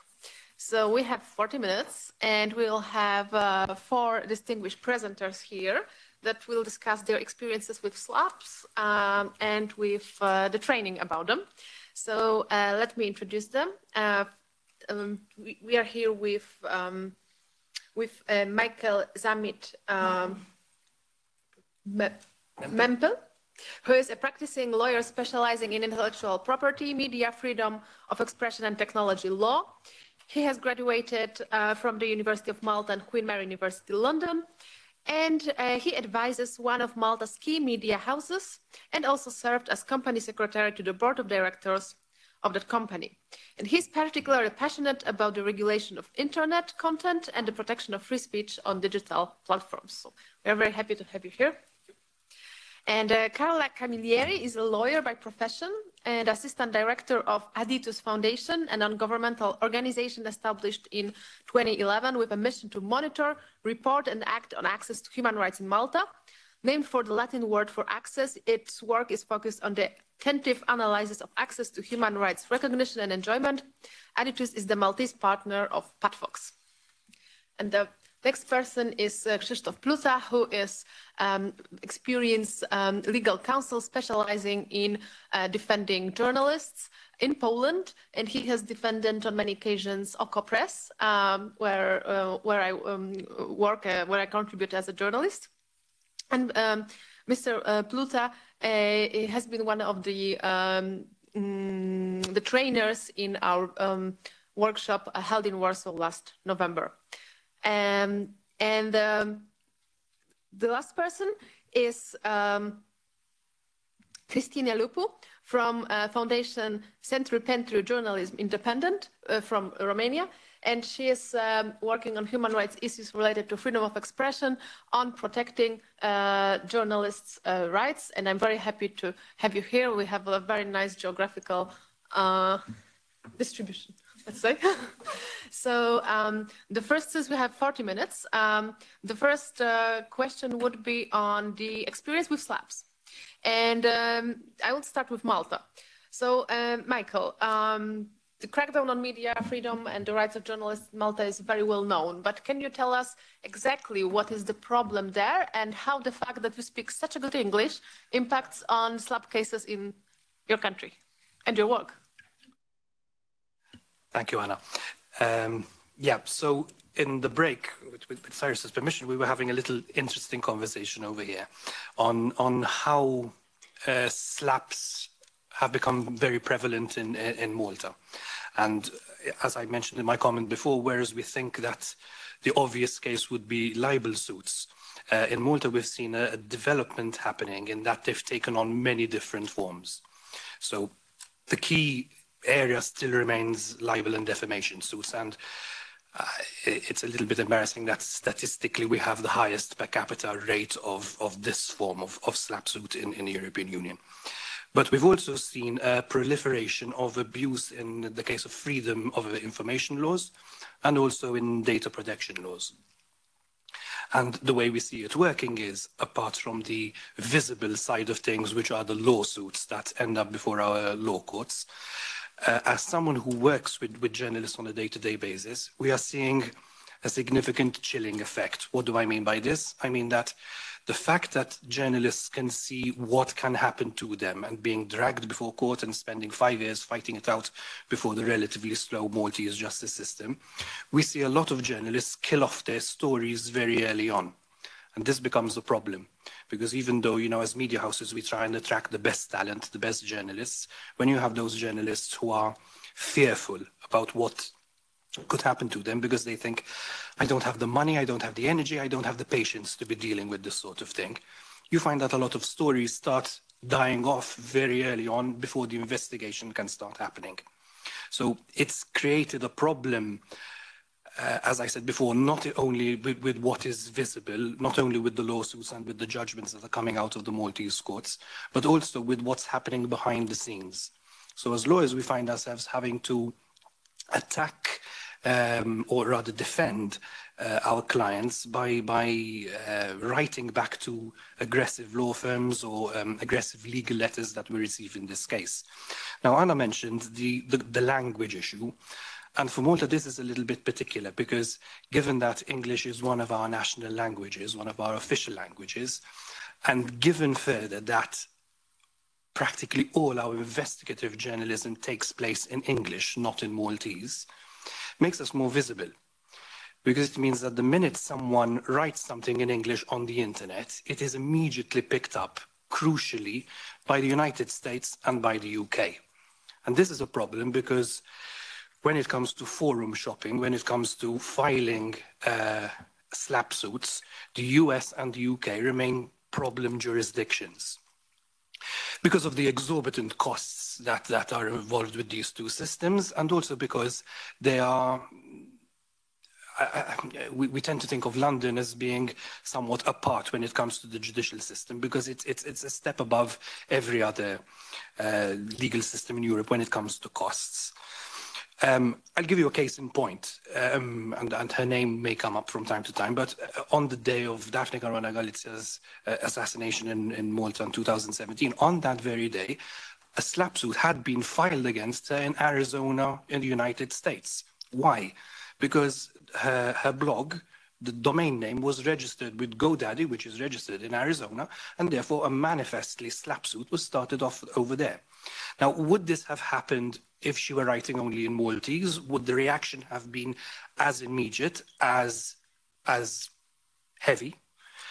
I'd like to think not. The that we, we, we are picked up by, by um, the international press so much more easily is, is a, an inhibiting factor. There's the flip side to this, and one of the things we have noticed in Malta, for instance, is whereas the rule set by our, by our constitution is that if you address the administration in one language, you are to expect a reply in that language. So if I address you in English, reply in English, if I address you in Malta. We've noticed that politicians in Malta don't observe this rule. So they are faced by investigative journalists in English, and they deliberately reply in Maltese. And the answer over here is obvious. It's to go under the radar. Whereas the story is going out in the English version, the actual comments can never be reported on international media because Maltese is a language spoken by half a million people in Europe, which is insignificant. So SLAPPs in Malta have this added dimension. The fact that they have spread so laterally into different forms, into different um, mediums, and the fact that the language is acting not, I mean, languages are usually a barrier. In our case, it's not a barrier, it's, it's put us on a stage which is uh, disproportionate to the country's size and to the country's uh, media industry. So I think that would be the best way I can describe the SLAPP situation in Malta, the, the breadth of it and the added dimension of the language situation. Thank you very much. We may say that uh, Malta is jumping well above its weight when it comes to European politics and also SLAPPs. We try. uh, so my next question to uh, Cristina, if we can stay uh, in Malta for, uh, for a moment. So how actually NGOs such as Aditus Foundation can help to counter such threats and what was the place of the training in it? Hi. Um, I come from a slightly different background to my colleague. Um, uh, Michael was the legal trainer, so he's the expert on uh, on media law. I work in a human rights NGO, and we looked at SLAPPs and um, uh, the SLAPP training from a kind of rule of law perspective. So the idea is to was to raise awareness, so raise awareness of SLAPPs to the general public, to journalists, to NGOs, and also to maybe the younger practitioners who might not have been so. Um, so knowledgeable about the topic. We also wanted to train the Maltese um, uh, legal professionals as well. We're, it's quite a small community. Um, there are a, there's a very small community of lawyers who work in media law and libel law, and the idea is to train younger lawyers eh, to identify and to be more aware of how to defend um, SLAPP cases. Um, and I think we, we managed quite well because there was a, a very good mix of people there um, um, present. Um, what we also wanted to highlight is that there is a draft directive um, and it is being worked on and hopefully will be presented soon. And to kind of influence our local politicians to be aware of the directive and to know what um, our feedback was on, on, on, the draft in order to possibly influence the outcome of the directive. Um, as Aditus, what we look at mainly as well is the the institutional um, is the institutional structure of the courts and the tribunals that tend to look or hear um, SLAPP cases or issues um, uh, that are linked to SLAPP cases. So, for example, um, FOI requests, freedom of information requests, who decides um, on the appeals, which tribunal decides on appeals, and how are these people um, appointed to these bodies. And as with a lot of the administrative tribunals we have in Malta, many of these um, key positions are appointed directly by either the minister or the prime minister. So you would have, for example, the data protection commissioner appointed by the minister. You would have the the members of the Information and Data Protection Appeals Tribunal appointed directly by the Prime Minister um, uh, with no uh, security of tenure, which for us is extremely problematic. There is also the possibility to appeal to the courts. Um, uh, currently, the system is working quite well and it's quite fast, and the the judiciary that are involved, because in Malta you would have specific uh, members of the judiciary looking at specific cases, there's always the possibility that the person, the, the member of the judiciary could be reassigned to another court and you would have a new member of the judiciary who might not be as knowledgeable on SLAPPs or media law or libel law. Um, uh, so the idea would to make, um, we would advocate to make the system tighter, more independent and more transparent. Thank you. So now, uh, Krzysztof, um, that's the case that I'm familiar with, uh, Poland. Uh, so you have an extensive experience that spans more than 20 years, so it goes well beyond the current rule of law backsliding and its problems with attacks on media freedom. Uh, so what would you say about the Polish SLAPPs against media? What's, what's specific about them, if at all? Uh, I think that uh, Poland uh, is not a very specific country uh, if we talk about uh, SLAPPs problem. Uh, what was changed uh, lately, it is a radical increase of litigations mm, initiated as criminal proceedings. I heard that it is a wider problem. Um, I think that it is only Polish problem, but but um, in the reports of uh, other colleagues, especially from Slovakia, I heard that, that it is wider, wider, wider problem. Um, I can say that uh, I cooperate with media, uh, I assist journalists and media editors for 1995. It's uh, almost 30 years. And uh, until uh, 2015, I have met two cases in my practice um, performed uh, as uh, criminal uh, proceedings. Two cases. F uh, two or three years ago, I have one week when I receive uh, three cases initiated as a criminal proceeding. Uh, and of course, I can observe from, from newspapers and from my own practice that the uh, practice initiations, the litigations per performed on the base of criminal law uh, became uh, a rule. A few, few years ago, it was rather exceptions. It is the change. Thank you very much. That's very sobering. Um, finding. Um, and uh, what about the main challenges um, for uh, journalists' work in um, uh, Romania, and how do you help to uh, make their life less miserable? Being in such a complicated uh, panel with Malta and Poland may seem that Romania is a good case scenario. So on paper, we don't have so many uh, SLAPP cases. We, um, the journalists are not harassed on the level it happens. It happens in Poland, for example. We didn't have any journalists killed yet.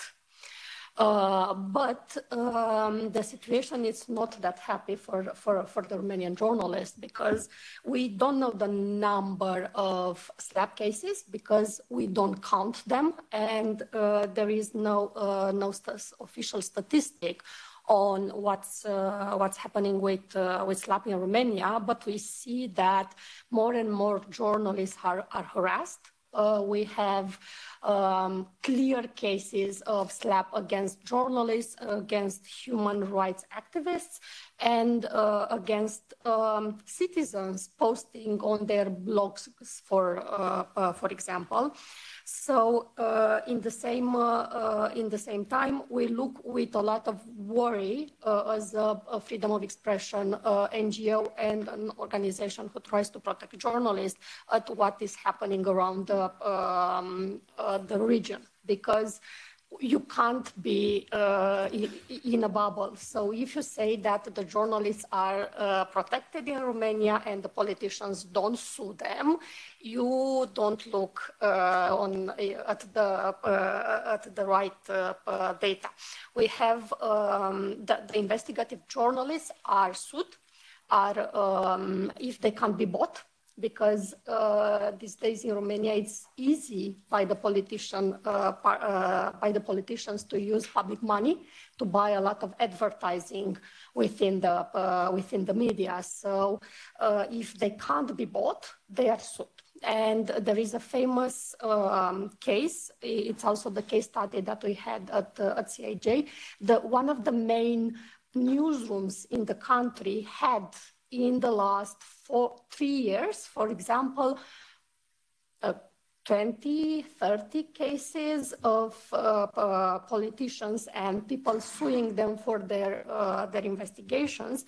There is a mayor that sued the same newsroom and journalists for 20 times. Uh, they filed also criminal uh, complaints. Uh, they filed um, they, they wrote to the anti-discrimination uh, council in Romania saying that uh, they discriminate because they are reporting about him. Um, he lost all uh, all the cases. In the um, even in some cases he win during the first stage of the of the trial, but the newsroom appealed, and they um, the cases were dismissed. But this is troubling because Libertatea, this is the newsroom that uh, I'm, I'm speaking about. It's a big newsroom. They have the money. They are one of the few newsrooms that can afford legal fees. But in Romania, the journalists are very poorly paid. And to afford a lawyer, it's something that it's not really um, uh, easy for, uh, for a journalist. So this is why we see self-censorship, as you said, and you see, we see also that some journalists decide maybe that it's easier not to report about that. Thank you. Yes, very, very short. Yes, comment, very briefly, please. because there's something that uh, our colleague from Poland mentioned and which has struck a chord with what's going on in Malta. So he mentioned criminal libel. Now, in Malta, we have the experience of having removed criminal yeah. libel from our statute books. What's happened? We have computer misuse. So these days, politicians file an action for computer misuse, for use of electronic communications, which means you've used the blog, or you've sent an email, or you've uploaded an online article, and get back to the journalist by using a different provision of the law, with the exception that the, the penalties for, criminal, for computer misuse are 10 times as much. Yeah. So we've solved one problem by removing criminal libel and now opened up another door in another way. So this is how how refined the, the system has become in, in really getting to journalists at every level. Now, when you, when you think, again, and I'm going to mention her name because it, it's, uh, when you think like uh, someone like Daphne Caruana Galizia was working only on her blog, you can understand how severe the situation was. I mean, again, my colleague from Romania mentioned 20 lawsuits on one day. Her record was 19 from one person regarding one article. So it, it, it, it just goes into so many different ramifications, so many different examples that it, it, it's often difficult to get your head around it. I, sorry, I thought I'd come uh, in with that. I, I, I sorry, it's the same happening in Romania. We managed to uh, kill, as we say, the uh, defamation from the criminal code. But for example, a few months ago, a journalist was uh, not investigated after he published uh, uh, an article um, about a, a person abusing a kid and he was investigated by the criminal uh, by the prosecutors for um, uh, pedophilia and uh, promoting yeah, pedophilia. And uh, because he published some of the videos on uh, his uh, uh, uh, website with all the identities identities covered all the, the measures and all her his computers. All the IT equipment was seized Okay, um, we'll have uh, like less than 10 minutes left, so I will just uh, now briefly uh, ask you for one minute recollection of the most rewarding and challenges elements of the SLAPP training that you participated in, conducted. So I mean, Carla mentioned before, Malta is perhaps the smallest country over here, and our legal community is even smaller. But I think what was uh, satisfying about uh, the audience that we had for our SLAPP training is that we had key people working in the uh, in the in the area. So we had three very senior lawyers who, between them, you know, have have quite a chunk of the the liable market over there. But we also had a, a number of new faces. And I think one of the most positive elements is that they could relate to having role role models over there. There was there were, the fact that there were a mix of senior and junior lawyers meant that they could see how other people have been handling things before them. Um, I think perhaps that was the most rewarding element. The most disappointing element was that we had uh, a huge number of people who made reservations and, and a high number of dropouts who didn't show up. But you know, nonetheless, we were satisfied with our with our turnout. Over to you, Cristina. I concur with what Michael said. I think another really positive element was that we had an NGO, so the Daphne Caruana Galizia Foundation NGO, actually explaining what it's like to be at the receiving end of a SLAPP. So practitioners could see what it's like to be from the victim side, but also the fact that they informed us that um, uh, they, as an NGO, they offer their services to journalists to be the front of the questions being asked. Because they have such clout, they can afford to ask questions in, in, in any type of reportage. So I think that was really interesting for, for the people present. Um, and a, a challenge, well, I think, as Michael said, the capacity, um, that people did not turn up. We hope that if we move it online, uh, we will have much more uh, participation. Krzysztof? Uh, first of all, I'd like to say that uh, we um, we took other options, uh, other philosophy of invitation for our training, because uh, we decided to invite people outside of Warsaw, because uh, we recognize that people in Warsaw better, worse, but manage it, manage with with SLAPP. Uh, the worst situa situation is people living outside of, of the capital, outside of uh, many connections, links, lawyers, supporters, etc., etc. And it was our philosophy. We invited people outside of the capital. Uh, it was very interesting uh, experience. Um, what uh, what was main challenges? I, I think that uh, we have two uh, two, two challenges. First, uh, it was uh, the problem. For me, it was a problem that, in, in my opinion, as an attorney, we have no tools against SLAPP. We have only tools against our opponent in the litigations which we perform for, for uh, in, in, the case uh, for uh, protection of uh, good name.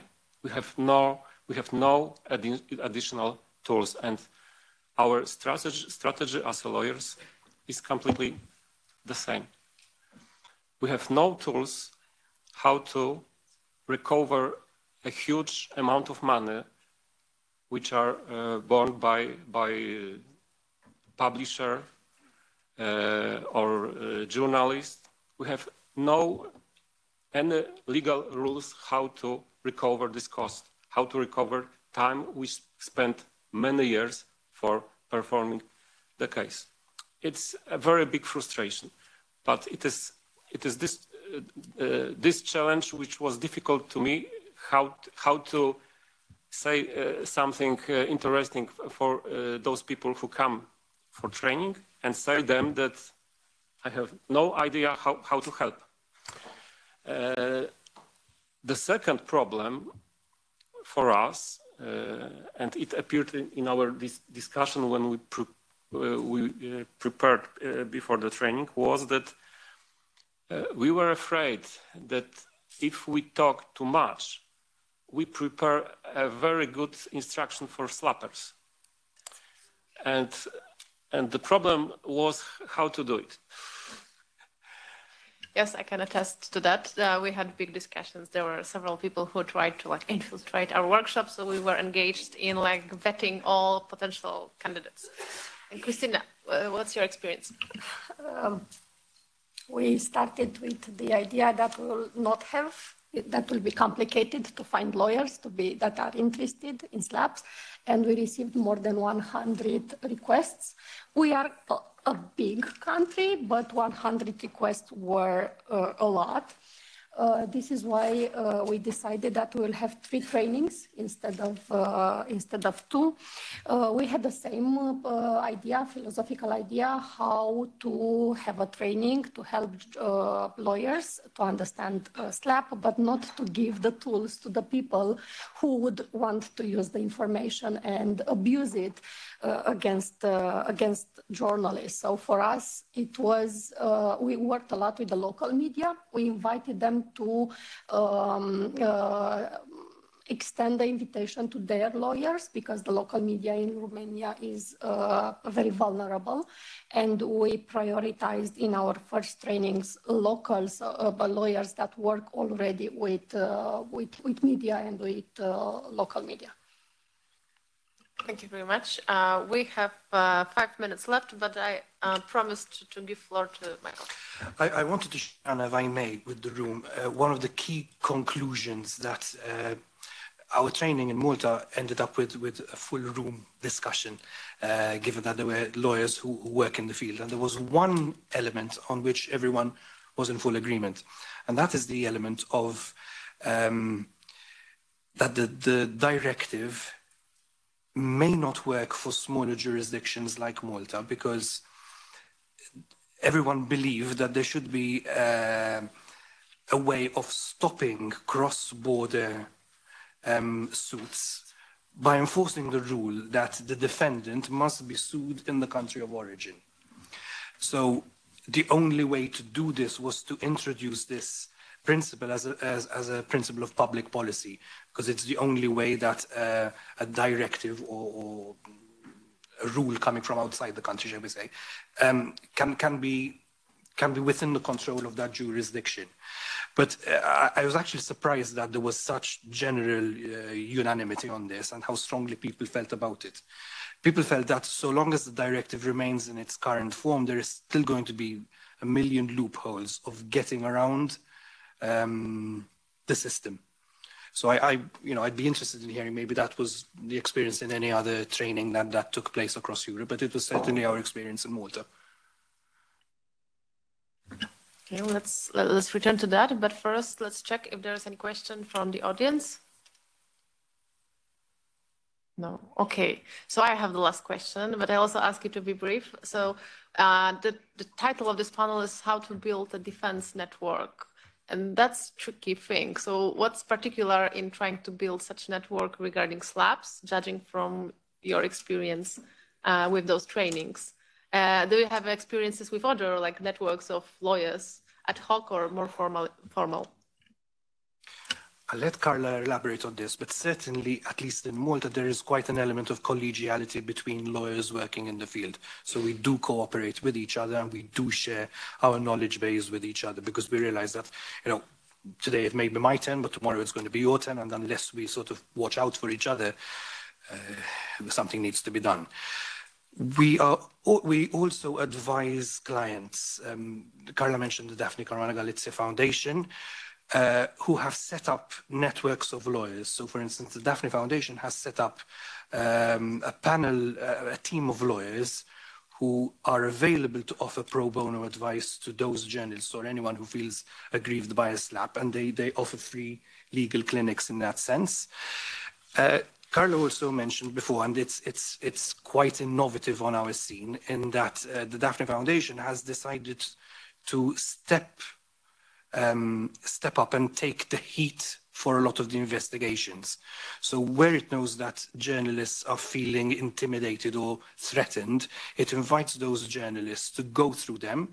They will ask the questions because they've now developed a thick skin and a very uh, oily set of shoulders, they will take on the questions themselves and they will take the heat themselves. And that keeps the journalist hidden. So it's another method of how uh, this form of network and collaboration is starting to produce results. Carla, I don't know if you had anything to add on. Maybe just on the lawyer or the defense networking, you know, I mean, we as an NGO, we work on broad, on a number of issues, migration, asylum, but also rule of law. Um, I think we, we really base a lot of our work on networking, both on the European angle, but also on the local angle. So um, we are part of, of European networks where at times we file cases together and at times other European lawyers would intervene on our cases, say in Strasbourg. So it is, it is key, you know, the, the actual networking is key for information, for support, and also for keeping each other updated on what is going on at a European angle, but also at a national angle, angle, especially when it comes to EU law. Obviously, what is going on in another member state could affect what is going on in your country, or in a, in a case you might be bringing forward uh, to other institutional levels. So I would say it's key. Uh, Krzysztof, can you comment on Poland? I, uh, I understand the building of a network uh, very broadly. Um, very broadly, uh, uh I, I mean uh, that it, it, should be linked not only uh, professional lawyers uh, who are able to perform the, the professional defense, but also other entities, other entities who are able to support the victim of SLAPP the um, in financial way or uh, other entities who operates uh, in the area of PR. I think that especially PR is very important tools in uh, fighting against SLAPP. I have to um, I have to uh, um, say very shortly about the, the biggest case uh, which I uh, have possibility to to help with. Uh, in 2000, 2005, uh, one of big financial uh, institution in Poland sued my client for damage in amount 5 million Polish zloty. It was today 5 million Polish zloty, is over 1 million euro. Uh, for Polish conditions, it's a huge amount of money. And uh, this amount caused that uh, the newspapers, uh, other, uh, other editors started to write about this case, started reported this case to public opinion, and uh, these opinions reported to public opinion was uh, not good for the plaintiff. Uh, from the PR point of view, we win this case. We win this case, uh, we win this case uh, completely. But in this moment, mm, we, uh, in front of public opinion, we will be the, the winner. What what happened next? The, the same uh, entity and other people connected uh, with the plaintiff, they initiated uh, in next 20 years next 13 litigations. And in none of them, they demanded such amount of money. Uh, after, after this history, they demanded only 20,000 Polish zloty. It is about 4,000 euro. It is effect of PR tools. Thank you very much. And Cristina, the experience from Romania. I think we need, uh, as uh, uh, the others already mentioned, to bring more people to the table. So we need to, to, to have more lawyers that are interested in supporting journalists. And this is why training is important, because uh, if we look, I can count on the fingers of my hand the people that are now the to-go uh, lawyers for, for journalists within the country. So they are too little and they are too uh, way too busy to uh, to uh, to be able to to support all the journalists that would need uh, their uh, their legal assistance. So I think we need more people to understand, more lawyers to understand why this is important, but also we need to bring other actors to this network, to this coalition, um, international organizations as that protect journalists need to be, or national organizations need, need, to be more outspoken on the issue and to raise the, uh, the awareness on why silencing journalists is bad for democracy. Uh, and I think this is something that it should be uh, it should be done more in Romania and I think around the uh, around the region, especially because these days is a trend to be against what's coming from EU. And if you let politicians put uh, this narrative that this is something that intervenes within our uh, judiciary system, this is something that will do whatever bad things, you will uh, you will let them uh, let them win, and you will uh, uh, the, the journalists will be more affected. And we need to prepare in Romania, and this is I think the most particular case Next year, it's a year when we have five elections. All election, elections happen in the same time. This means that the cases against journalists will skyrocket because we see the connection between elections and suing journalists. Thank you, everyone. We've run out of time, but I feel that we've done a little bit to this PR exercise to explain a little bit what is uh, the potential of uh, training, uh, of discussing together about uh, SLAPPs and also anti-SLAPP directive. So I'm uh, very positive that we'll keep in touch. Um, and uh, I'm looking forward to the next panel. Thank you. Thank you, dear fellows.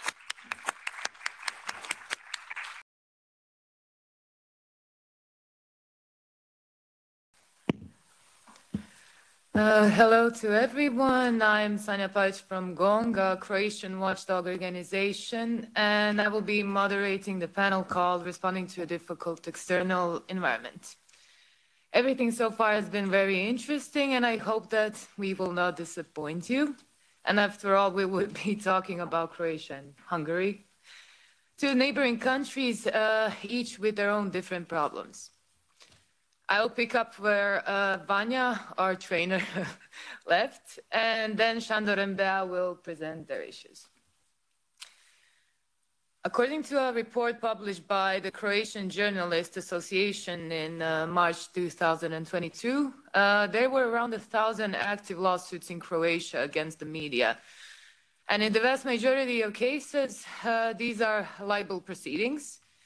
And in total, the damages claimed from reporters and newspapers amount to more than uh, 10 million euros.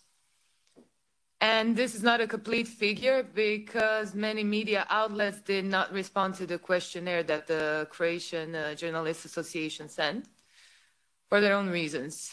And this is a very high number compared to the number of inhabitants and compared to what happens in uh, other countries in the European Union.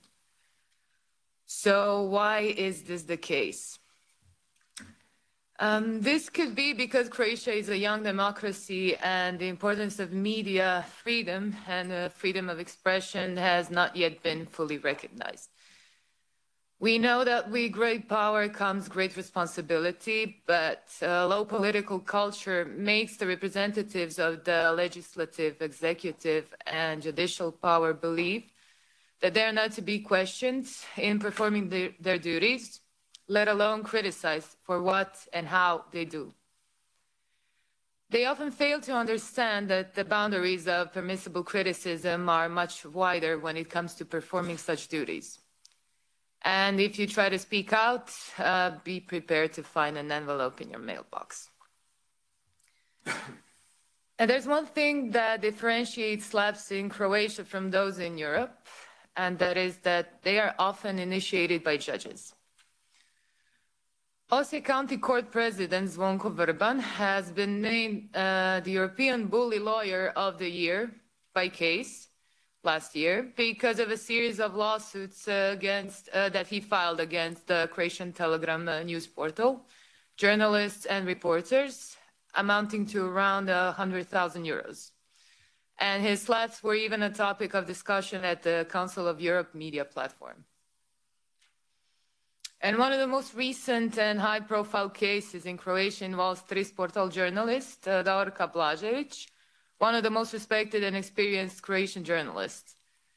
She was sued by former Supreme Court uh, President uh, Senka Klarić-Baranović, now a judge at the Supreme Court, for publishing information that was already known to the public. And in the column Portrait of the Week, uh, Mrs. Blažić made a comment regarding all Supreme Court decisions rendered while Judge Klarić uh, was head of the Supreme Court. And Mrs. Blažević was sentenced to a fine of uh, around 5,300 euros. And in light of this event, the Croatian Journalist Association organized crowdfunding uh, for Mrs. Blažević's fine, and the required amount of money was, of course, collected. However, the column Portrait of the Week on Tris Portal does not exist anymore because journalists are afraid of new lawsuits that would potentially follow in case someone such as that judge was tackled in there. And this is just one example of how powerful SLAPPs are in silencing the media, which is already under high pressure in Croatia. And GONG even has a whole research about that. And in light of this event, the Croatian Journalists Association announced it would start publishing the names of judges who initiate SLAPPs against journalists. And it is expected that the list will be available maybe in April this year. And even uh, the president of the Supreme Court in Croatia realized that SLAPPs are a big issue in, Croatia and filed a questionnaire to all uh, judges, all presidents of uh, county court uh, county courts in Croatia, asking, among other, for data on lawsuits initiated by judges against journalists in the last five years. He notes that every judge has the right to sue a journalist if he believes, he or she believes that he or she defamed him, but the issue is that very high sums were being demanded in these lawsuits. Also, judges do not go to the Court of Honor of the Croatian Journalist Association, which would be part of the regular procedure if the article in question was unprofessional. And any lawsuit filed by a judge against the media is not only his or her personal matter, because the reason uh, for it is always the judge's conduct in that official capacity. And because of this, because uh, their lawsuits are a matter of their own courts, judges should refrain from filing lawsuits in a hectic manner. And the European Court of Human Rights found that inappropriate, extremely high compensations that judges regularly award to each other uh, were an issue in Croatia, thanks to the case of the Narodni List outlet uh, that was sued by a number of judges, which changed the previous judicial practice. And after the court's decision, instead of uh, the extremely high sums, uh, now usually around 4,000 euros is requested, which ends up at uh, 1,500 to 2,500 euros. And the court again pointed out that the boundaries of permissible criticism of judges are wider than those that apply to ordinary citizens. And what we in GONG call for is forming a sort of evidence register, whatever you may call it, uh, with information on judgments that are results of SLAPPs, with emphasis on those that were initiated by judges. Education of lawyers, especially judges, as Vanja also pointed out, uh, of course, is crucial for understanding the problem of SLAPPs and how to recognize them, so that how to recognize them. And we also call for more regulation regarding media outlets uh, so that they bear the cost of the fines of their journalists because they must stand behind, behind their journalists. And finally, improving political culture through civic, uh, civil education, which uh, GONG has been advocating for decades, is necessary to understand the importance of freedom of expression. So it's crucially to properly address the issue of SLAPPs because if we are not able to speak up when those in power are not behaving accordingly, then how can we really grow as a society? So this will be all from me now, and I'd like to give the word to Bea and Sandor.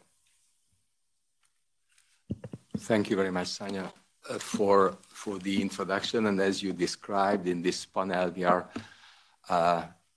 focusing on how to implement an anti-SLAPP project in a, a difficult uh, environment. And we are tackling two countries, two neighboring countries, uh, Croatia and Hungary, and you rightly emphasized that there are significant differences between those two countries, though we are in neighboring countries. And as I understand, the issue in Croatia is this high number of SLAPP cases by judges, which is quite unique. And we have some other other issues, and you also emphasized that Croatia is a young democracy. Okay, Hungary is another young democracy, but I need to tell that for a decade or so, this country has been moving towards more and more autocracy, and I presume that in this room, uh, you're all aware of the worsening rule of law situation in Hungary, and that has seriously affected the media sector, the judiciary, also independent civil society organizations, which, by the way, can be very easily targets of SLAPP cases as well. And I'm uh, managing uh, the Center for Independent Journalism in Budapest, which is a media development NGO we were established 27 years ago to promote fact-based and ethical reporting via training, advocacy, and, and, and, and research. And when we started in the mid-90s, I mean, we were operating in a very enabling and positive environment, and we were very proud that uh, those days Hungary and Poland used to be the front runners of democratization. Obviously, now we live in a very, very different situation. And regarding media, the most important feature is the capture of the media by, by the states. And according to estimations, some 80% of the media outlets are directly or indirectly controlled by, by the governments. And those media outlets which should serve the public, they are practically, practically disseminating the narratives of the government. Also, the country has a, uh, uh, like the media and advertising market in the country is distorted and the main advertiser is practically the state itself. So this is sort of the situation. But on the positive side, we still have a bunch of decent independent news outlets which are committed to the professional standards of fair reporting. At the same time, these outlets are operating under tremendous financial pressure. Also, these outlets have very limited access to data of public interest, to government information, and also they are occasionally targets of smear campaigns. So, uh, so when we are talking about SLAPP cases, I mean, we have to understand and analyze it in this context. And my colleague Bea Bodrogi will talk more about the SLAPP cases and the details. Let me just mention, emphasize in the end that we are glad to be part of this consortium. And like the other partners, we also uh, produced uh, curricula, implement uh, resource materials, and uh, had a pilot workshop for judges, which went quite well. And uh, Bea Bodrogi is our uh, lead legal expert in this project, who is also a member of the EC expert group. So the floor is yours. Thank you. Thank you so much for the invitation. I'm, I'm happy to be here and share my experiences on SLAPP with you. Uh, when preparing for this uh, discussion, I thought uh, that it would be the best to give you um, an example of what I worked on the la on last year concerning uh, SLAPP uh, because I provide legal representation for three major independent media outlets. Uh, and one of them is called Telex, and they employ 60, uh, no, 80, 80 journalists. And last year we had an election. So during election time, uh, legal cases grow, most, almost every country, but uh, especially in Hungary, last time we could detect that uh, there was a really growing uh, number of cases against uh, journalists.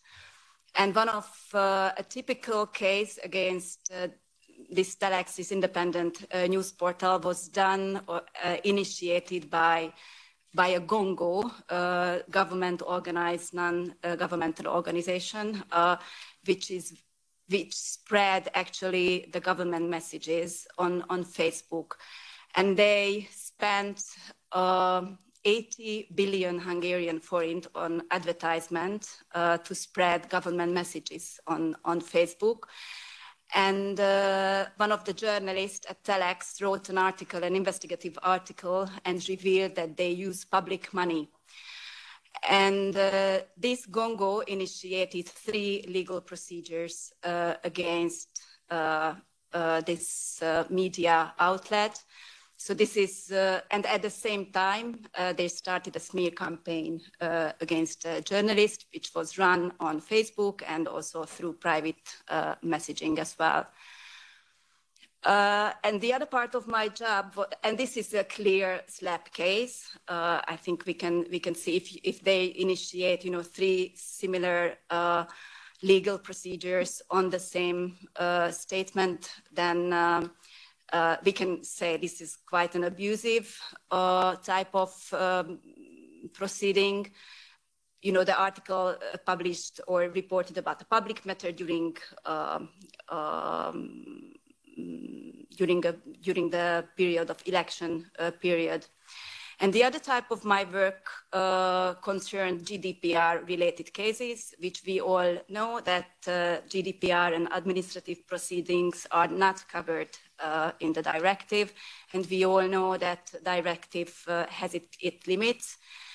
Uh, but we could see that there is a growing number of um, uh, cases which are based on GDPR.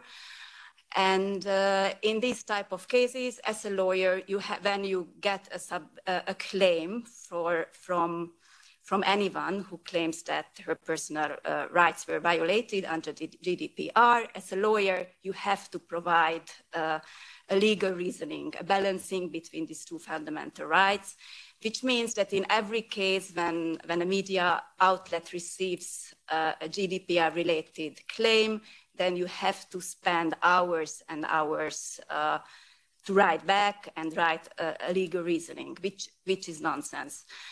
And uh, when we talk about uh, SLAPP cases, you know, when we talk about the directive, uh, it's important to uh, to realize and to, to, to take into consideration that, that it has its limits, but still we really have to broaden up the uh, discussion what SLAPP is, because uh, just because the directive covers uh, uh, civil cases, cross-border uh, civil cases, doesn't mean that we don't have other type of SLAPP type of uh, SLAPP type of cases. So I fully agree with Michael and with Hannah.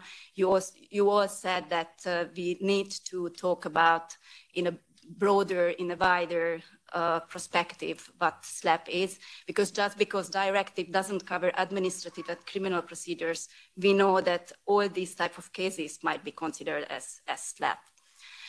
And uh, for this reason, when we did the training for lawyers, uh, you know, we introduced the directive, we introduced um, also the recommendation, which I have to um, highlight that it's it's a great approach that uh, that the Commission took the holistic approach. It not only focuses on on legal aspects, the directive, it it also focuses on on recommendations, uh, which we all know. You know, recommendations have their limits as well because. Uh, you know, countries cannot be forced to follow these recommendations, but highly recommended to follow these recommendations and uh, which say that uh, all legal uh, regulations should be re re uh, revised and renewed from SLAPP perspective point of view. Uh, and what we did uh, during our trainings, we, beside introducing the directive itself, we,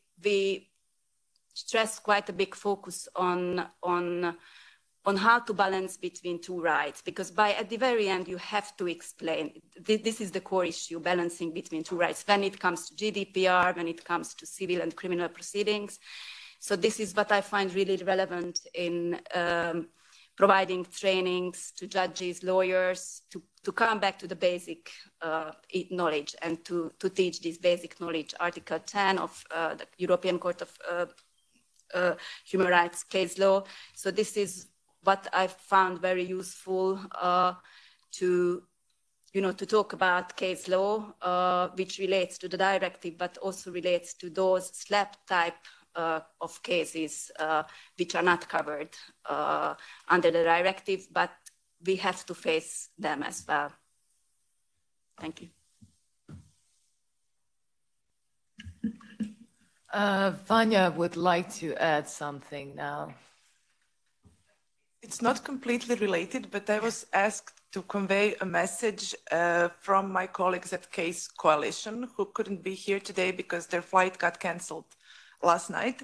So they asked me to extend uh, an open invitation to all of you here uh, to join the CASE Coalition and to work together uh, on everything SLAPP related. Uh, they are really great uh, and very experienced um, uh, experts uh, on different matters regarding SLAPP. So here it is. It's uh, their message to you.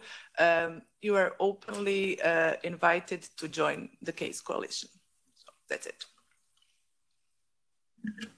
Uh, thank you. Are there any questions? and we're running out of time. So I'd like to say thank you. Thank you, Sandor. Thank you, Bea. And that's all from us.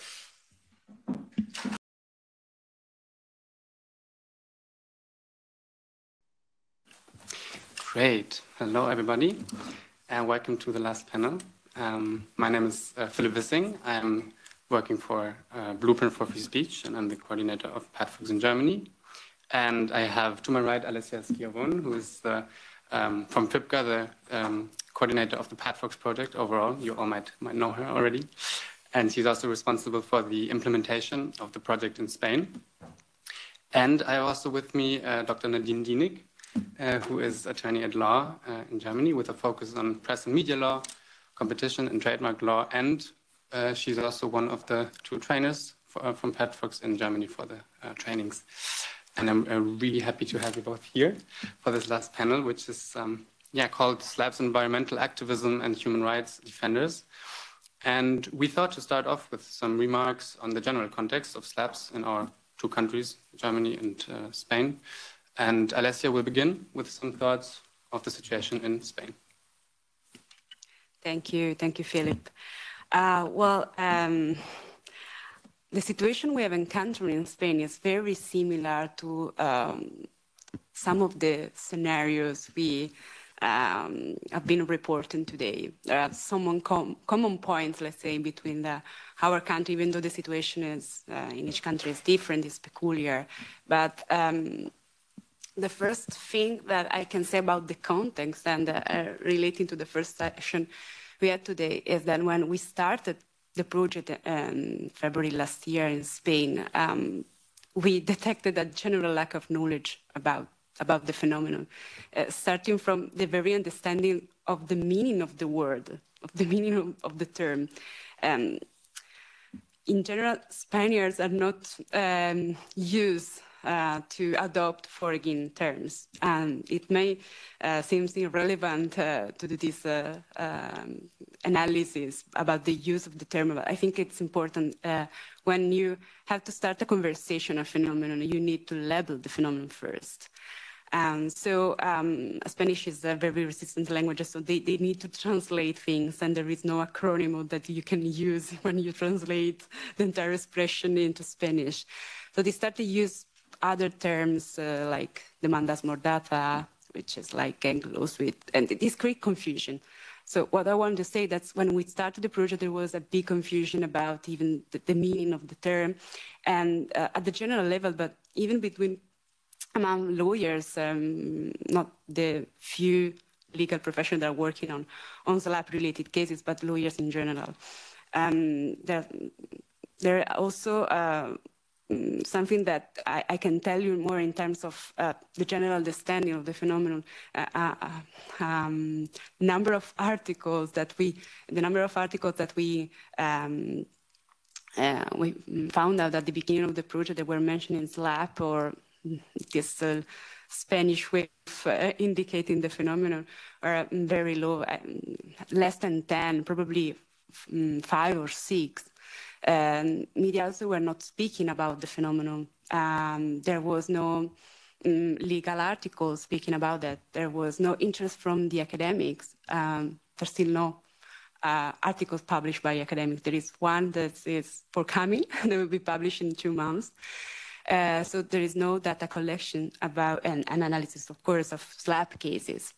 Uh, so that lack of uh, of knowledge about the the phenomenon was um, the, a big challenge for us because we had to start from the very beginning to interview people. And the reaction was the, the feedback were very positive. On one side, the lawyers that were in a way um, uh, involved in, defend, in the defense of SLAPP-related cases. I'm, I'm using this, this expression, SLAPP-related cases, because sometimes I uh, had the impression, and I still have this impression, that there, there is um, it's, it's still challenging for them to um, understand the peculiarities of, of SLAPP lawsuits. There are different forms of attack against freedom of expression, and uh, also, uh, Spain is a country uh, which has some sort of difficulties in terms of attacks at, at the freedom of expression and Spain has been condemned several times by the European Court of Human Rights for violation of the freedom of expression. So what we have done at the beginning is uh, starting to, to analyze the, um, cases or trying to, uh, to collect data. And one interview led to another one, and uh, lawyers and also victims were very uh, glad that uh, we have the PATFox project in, in Spain and also that PATFox project is a European project. On the other hand, I have to say that especially one victim, uh, I think it is the victim of what I consider the, mo the most important that case in Spain. It's not about environmental activism. And this person told me that uh, is was open to help us. uh, to collect data about these cases, to have, uh, we have a series of, series of discussion and debates about the, uh, the challenges, uh, not only legal, but also the personal one this person faced during four years. But at the end, he didn't participate in our um, training uh, workshop, even we um, invited, the, we invited this person. Uh, this person decided not to come um, for the fear of being targeted again. And it's something we have to consider when we start analyzing the, in the phenomenon in a country where there is no data and you start labeling person and labeling phenomenon and cases. We, um, that's one of the challenges that we, we are still facing in, uh, in, in Spain. Uh, regarding the cases, more or less uh, from this uh, initial analysis we have conducted in the first year, we're still conducting I can tell you that um, the majority of the cases are uh, cases um, brought by corporation or public officials against um, journalists. Uh, in this case, the, the tool used is criminal law, mainly uh, criminal provision uh, on crimes and crime on discovery and disclosure of secrets. And, and, there are also cases against activists, academics, and activists. Uh, in this case, the, again, the tool is uh, the criminal law, the criminal provision on honor crimes and honor offenses, and also the civil law provision on the protection of honor. Uh, among the, this target, uh, the activists in general, um, human uh, rights defender, we have noted that in last year, um, activists, um, environmental activists, are being prosecuted or sued more often. And several cases happened in the early 2000s. Uh, we interviewed, for example, an environmental lawyer uh, suffered an abusive litigation, first instance and second instance, in the um, 2004, 2006.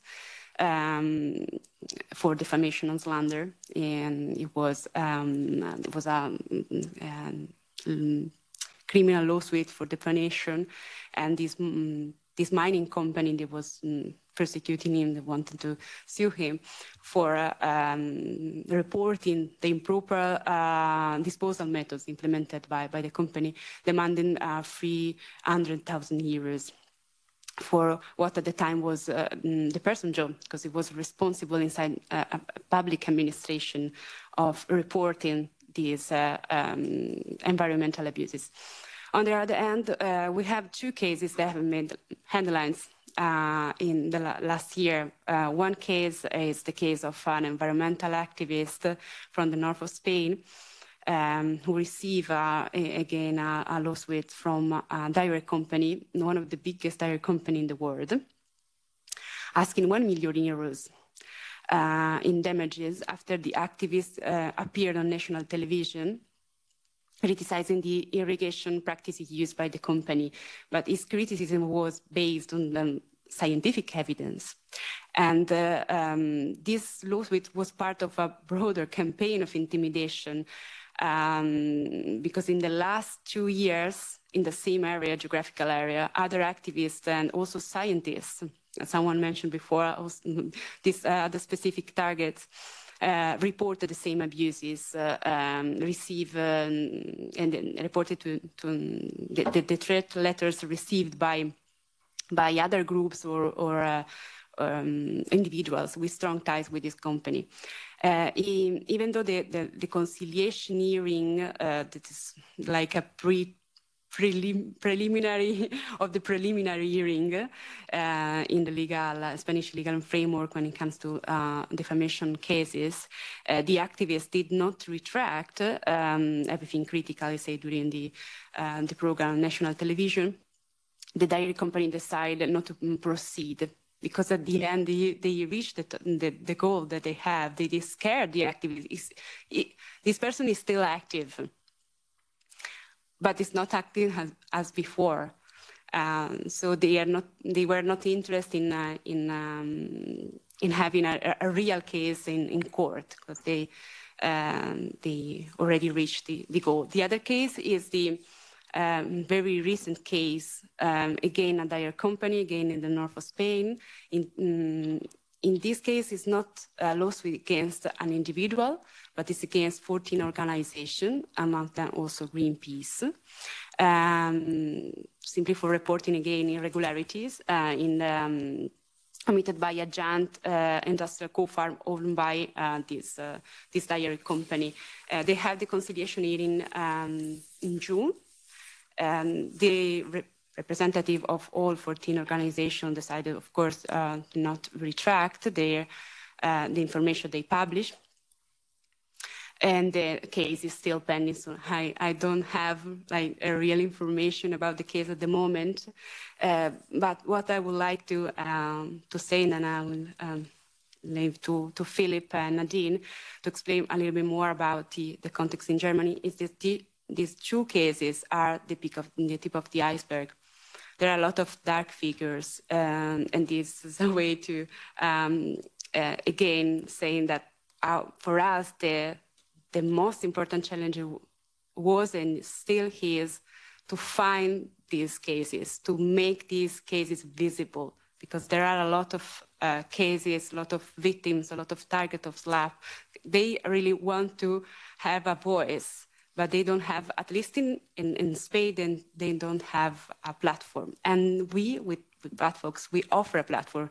In our training, um, later we'll maybe discuss a little bit about the uh, what, what happened with our workshop in Spain. What, uh, I'm, I'm proud and happy to say that uh, uh 40 lawyers uh, participate in our, in our training, but also uh, victims of SLAPP.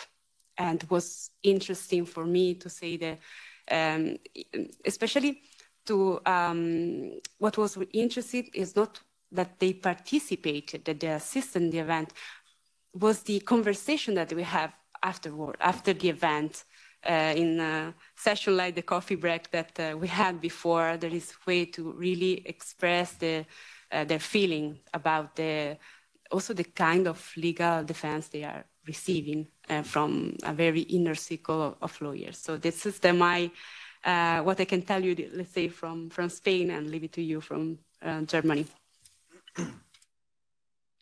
Thank you very much. And these were really perfect cues, I think, lack of knowledge and um, tips of the iceberg, but also a highly motivated community and a, a, community really searching for, for help and support. I think this all really uh, describes the situation in Germany quite well. Um, yeah, so we are running out of time. I'll just uh, keep keep on with, with the German part um, as long as we have left, right? And uh, until we have our um, guests for the closing remark. Um, but yeah, so to wrap it up, maybe um, in, in Germany, the, the problem of SLAPP is prevalent. It's it's a problem. It's it's uh, it's there, but still, it's a I'd say ambivalent uh, situation because um, media organizations, civil society actors who are affected by this, they know that that something is is um, is happening, and they know that that there is a, a threat um, which is becoming more and more threatening. Also.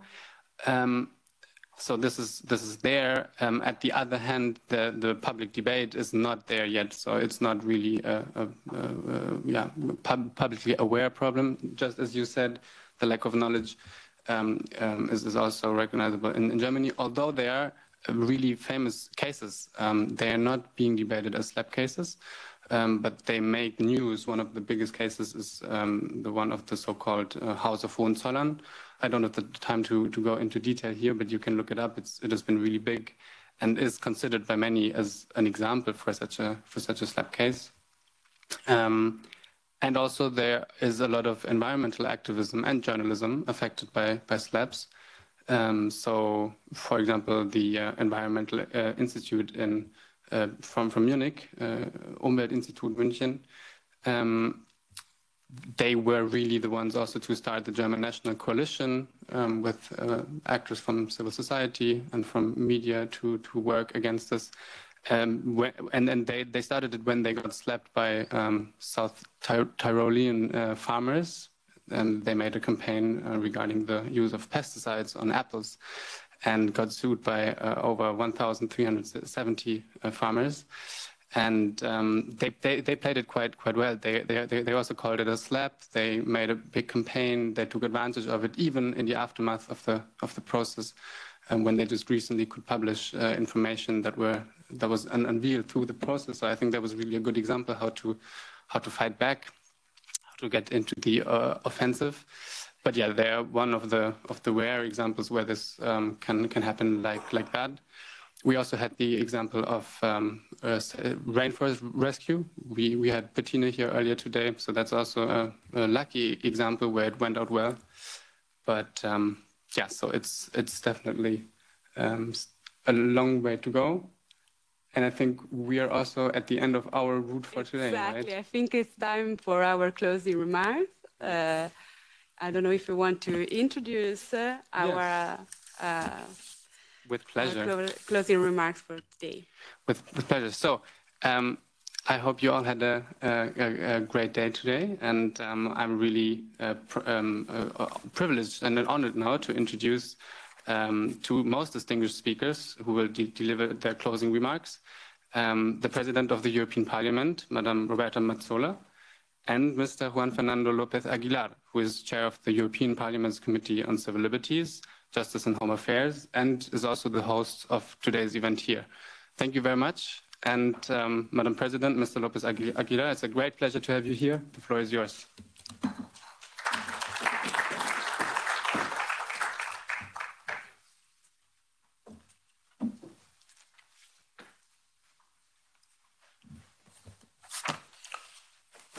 Good day, everybody, and please be most warmly welcome to the European Parliament. Those of you who are visiting or attending this gathering, which is, of course, of the utmost importance for the European Parliament in all, and particularly for some of us who are deeply involved with this issue you've been discussing. And uh, let me just uh, address you a few words as we are waiting for Roberta Metsola, whom I think we're also expecting anytime. But uh, it'll be my pleasure to, to share with you some thoughts on the issue that uh, has put us together this morning in the premises of the European Parliament in Brussels, which is precisely legal training on SLAPP, strategic lawsuit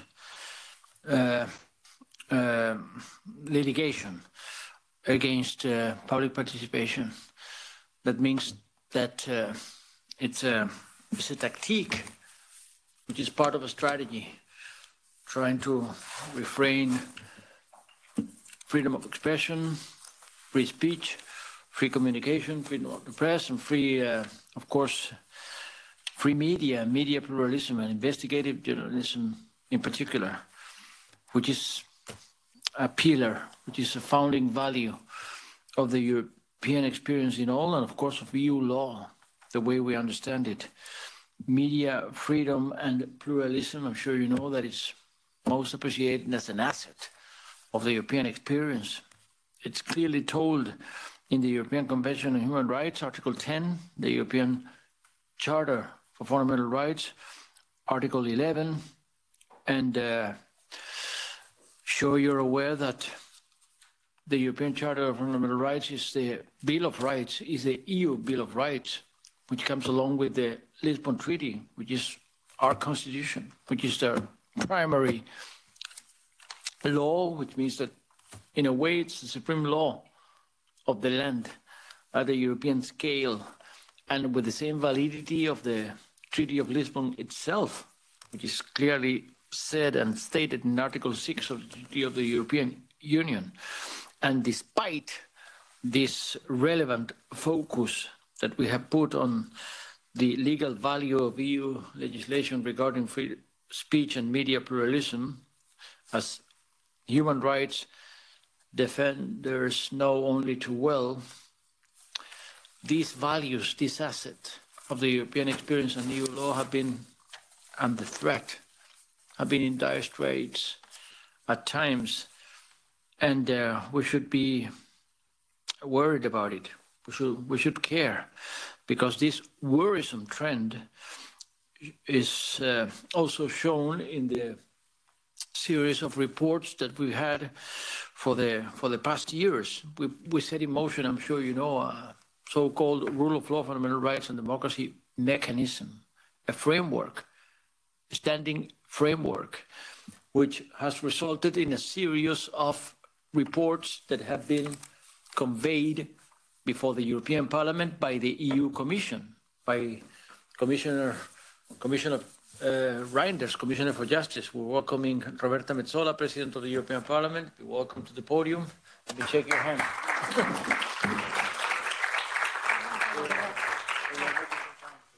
for you, but I was addressing the audience with some thoughts before you have the final say this morning. And as we said, Looking at your food on the way in. Yes, there, there's some food. There's, we, we, we, we, uh, we need some of it because I am, Yes. uh, I am, I am linking this, this, uh, this remarks precisely with the coordinators meeting of the, of the LIBE Committee. I'm sure you know how it's like. It's going to be two hours of hard work right afterwards. So the point I was making is that, yes, we've had a series of reports by Commissioner Reynders, the EU Commission, related to the fundamental rights, democracy, and uh, rule of law situation in every member state. Because it's an assessment, an overall assessment, but it follows with the country report of all the 27. And yes, we have noticed physical and online threats, attacks on journalists on the rise in several member states, particularly in some, for sure. And it means that the EU simply is not yet free of attacks, even severe attacks, to media freedom and pluralism.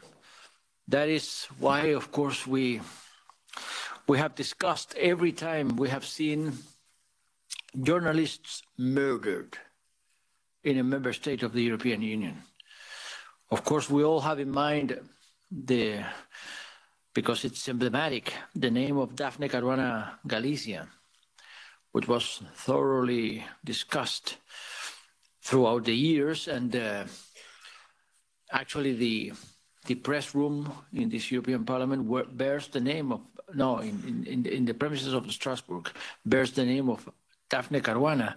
But she doesn't happen, sadly, to be the only one journalist murdered in the past few years in in the European Union. There have been cases in the Czech Republic, there have been cases in Slovakia, there have been cases in Bulgaria, there have been cases in the Netherlands.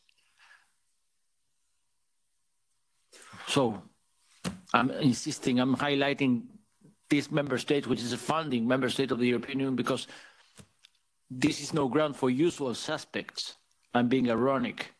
This is no ground for usual suspects. No one is free from this kind of serious attacks to media freedom and media pluralism. The Netherlands, and yes, Greece, and yes, Greece, um, an assassination which is not yet cleared. So the European Parliament has been insistingly calling on the Commission to come with new policies, legislation, procedures, mechanisms to safeguard media pluralism and protect journalists against abusive lawsuits aiming to silence media pluralism and media freedom, to silence journalists. We adopted a resolution May 2018 on media pluralism and media freedom, inviting the Commission to come up with anti-SLAPP directive, protecting independent media from lawsuits aiming to silencing or intimidating journalists, an invitation that has been reiterated throughout the years. Latest is November 2021. We adopted a resolution on SLAPP calling on the Commission to come with a package, both soft and hard law, including early dismissal mechanism addressing the number of increasing number of SLAPP against journalists, NGOs, academics, and civil society. In that resolution, we suggested that the Commission should include general rules providing protection against SLAPP, proper functioning of the internal market, as well as rules both on criminal and civil justice. And the Parliament welcomes, hence, sure, the Commission's proposal for a directive protecting persons who engage in public participation from manifestly unfounded or abusive court proceedings, strategic lawsuits against public participation, that was finally put in place 2022, last year, and uh, which includes early dismissal of SLAPP cases, sanctions against claimants, and remedies for defendants. But we still lack legislation covering criminal cases that is focusing on the criminal field, which is also a competence of this European Parliament as a criminal lawmaker. That is why Parliament keeps the calling on the Commission to take over all proposals from our resolution adopted in 2021, namely amending Brussels 1 and Rome 2 regulations, libel tourism, forum shopping, address criminal cases, and address ongoing cases to mention the most important ones. So the Parliament welcomes the Commission recommendation. No legislative action, including training for judges and legal practitioners, meaning you, legal training, providing financial support for the victims, support for independent bodies dealing with complaints from those victims, a public register, relevant court decisions, and support have victims of SLAPP, giving access to EU guidance. So that proposal for a directive has been deferred to two committees of this House, including the one I chair, the LIBE Committee, and also the JURI Committee, and we're working full speed to make it happen. So I can only welcome you all to this House of the European Parliament, which represents you all, fellow lawyers, colleagues, legal professionals, and we call, of course, very expressly, of all of you, we call on all of you to be the messengers to help us to fight against and to raise awareness on every case of unlawful uh, and undue uh, um, intimidation or uh, restriction of media freedom and pluralism. The legal profession has a very special responsibility in this in this uh, realm by not assisting on unlawful cases, helping the efforts of EU institutions to protect EU values. So within the organizers of this very good gathering, it was a very good idea in the first place, and we promise that we will deliver. We will do our best to bring about some change for the better when protecting media freedom and media pluralism. Thank you all. President. Thank you so much, uh, Juan Fernando. Let me, before you leave to your coordinators meetings, the fun, the most fun meetings that we have in this house, which I spent many years uh, um, uh, having the privilege of being a member of, uh, I'd like to echo what you just said uh, and the commitment of this Parliament uh, to this cause. And I call it a cause because I will perhaps take you through a little bit of a, from a historical point of view of how we, we got here uh, and it is by no mean feat that we are today organizing a meeting uh, um, as legal professionals and as lawyers. I'm very proud to be one uh, myself on an issue that the Parliament has been speaking about for years. Uh, I have been a member of this Parliament since 2013, so 10 years now. Uh, and I can tell you that already uh, since 2014, 2015, this Parliament started to say that there are some gaps uh, in the implementation of the civil law instruments, but also in the fact that our fourth pillar of democracy is not being covered. We talk about everything, but we talk, don't talk about uh, the freedom of journalists to investigate stories, to make sure that politicians are not above the law, and to hold everybody to account. Many years passed um, uh, before anything much was done. But I must say that the assassination of, of Daphne Caruana Galizia triggered us into action, into realizing that we have in our European Union, and a few months later, first in Malta, then in Slovakia, uh, people who are assassinated simply for investigating uh, the truth no matter how difficult the stories are, no matter how uncomfortable that truth is. There is absolutely no way in this world, and especially in the European Union, that those people should be assassinated for doing what they have to do and what they have to be protected in doing. And I say this because it is, it for many years, as again, uh, we used to talk about strategic lawsuits against public participation, huge differences between member states, huge legal frameworks. Some member states saying we already have protection uh, against such um, cross-border activity, let's call it that. Uh, but some member states flatly refusing to even go there. Uh, and this is where the European Parliament decided um, two and a half years ago to put forward its own proposal on anti-SLAPP. Uh, I was a rapporteur there for the Civil Liberties Committee, which Juan Fernando shares, chairs, uh, and um, Tiemo Wölken uh, was my uh, colleague from the Legal Affairs Committee, uh, in order to, to push the Commission into action. And we have recognized this as a very effective tool uh, in identifying previously, let's say, uncovered legislative territory. Lots of discussion you might remember the first debates we had in the joint committee meetings about the legal basis, the extent of the legal basis, the restriction to cross-border, the identification of funds, the different protection regimes for, for journalists in different countries, uh, as the, let's say, the obstacles that were put forward. But we pushed through on the basis and the premise that SLAPPs are not legitimate lawsuits. They are aimed at intimidating, they are aimed at making sure that journalists are financially and emotionally drained. And therefore, they find themselves in no other, with no other option than to self-censor, self-censor, which produces uh, a chilling effect on the reporting of abuses.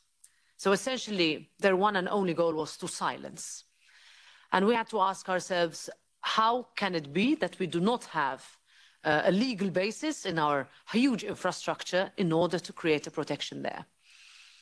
Uh, and we spoke a lot to national institutes of journalists, but we also spoke to individual journalists who told us that sometimes they are left alone. Sometimes editorially, they are left alone sometimes, and this, this is a specific case in, in, in some countries, when a journalist leaves a publishing house to go to another publishing house, the libel suit follows them. And therefore, it is sometimes in the interest of the house for the journalist to move. And these were all situations that we wanted to cover with our report. And we are very happy um, to see that all the work, uh, and I see a lot of familiar faces here, uh, of activists that for so long said that our legal remedies and our defamation laws should not be abused in order to serve the purpose of who wants to silence. Uh, and uh, when uh, we saw the, the Commission's proposal, we immediately said this serves as a good basis. We will work with it. Uh, I would say we take credit on the fact that there is a proposal on the table because the Parliament had its uh, own uh, initiative reports. But there was also a situation where ministers in different governments were being put under pressure to push through. And that's thanks to your work. That we had ministers in the council saying, actually, this is a, a demand from my own national parliament, from my own national civil society activists. And the increased number of cases that we have seen, remains to be seen, and I see Justin uh, on, on, on call. I don't know whether he's still connected, but with specific reference to the United Kingdom uh, and what will happen now in this situation where a vast majority of suits are instituted or brought before courts of the United Kingdom, uh, and how will that, even in the context of the Brussels II and Rome II application to cross-border enforcement of judicial decisions that will that is still, I would say, very uh, uncharted territory in a post-Brexit agreement scenario yesterday. uh, but we have already started to face it from the security perspective, um, uh, exchange of information perspective, and my, let's say here, I don't represent the European Parliament in saying this, but as a lawyer, I would say that this should be also something we build on in uh, our relations with the United Kingdom with recognition of judicial decisions and, and, and, and cases. Still very far away from that. Um, so I'll, I'll conclude by saying that the Parliament is your ally, uh, very much welcome uh, to the to the PATFox's consortium for what you are doing. Thank you for organising events in this Parliament. Hold members of the European Parliament to account. Push them to go faster on the Media Freedom Act uh, in in Libe. Uh, and in Uri. you cannot say it's Uri, yes. not you, but yes, you can say that. But a lot to do, one. But uh, we have a huge amount of legislative work to do before um, uh, the end of May 2024. And I would be, let's say, extremely proud of the fact that this mandate can be looked at as the one where we made a huge leap on media freedom and protection of uh, truth uh, um, discoverers and finders in our house and in our union. Thanks a lot.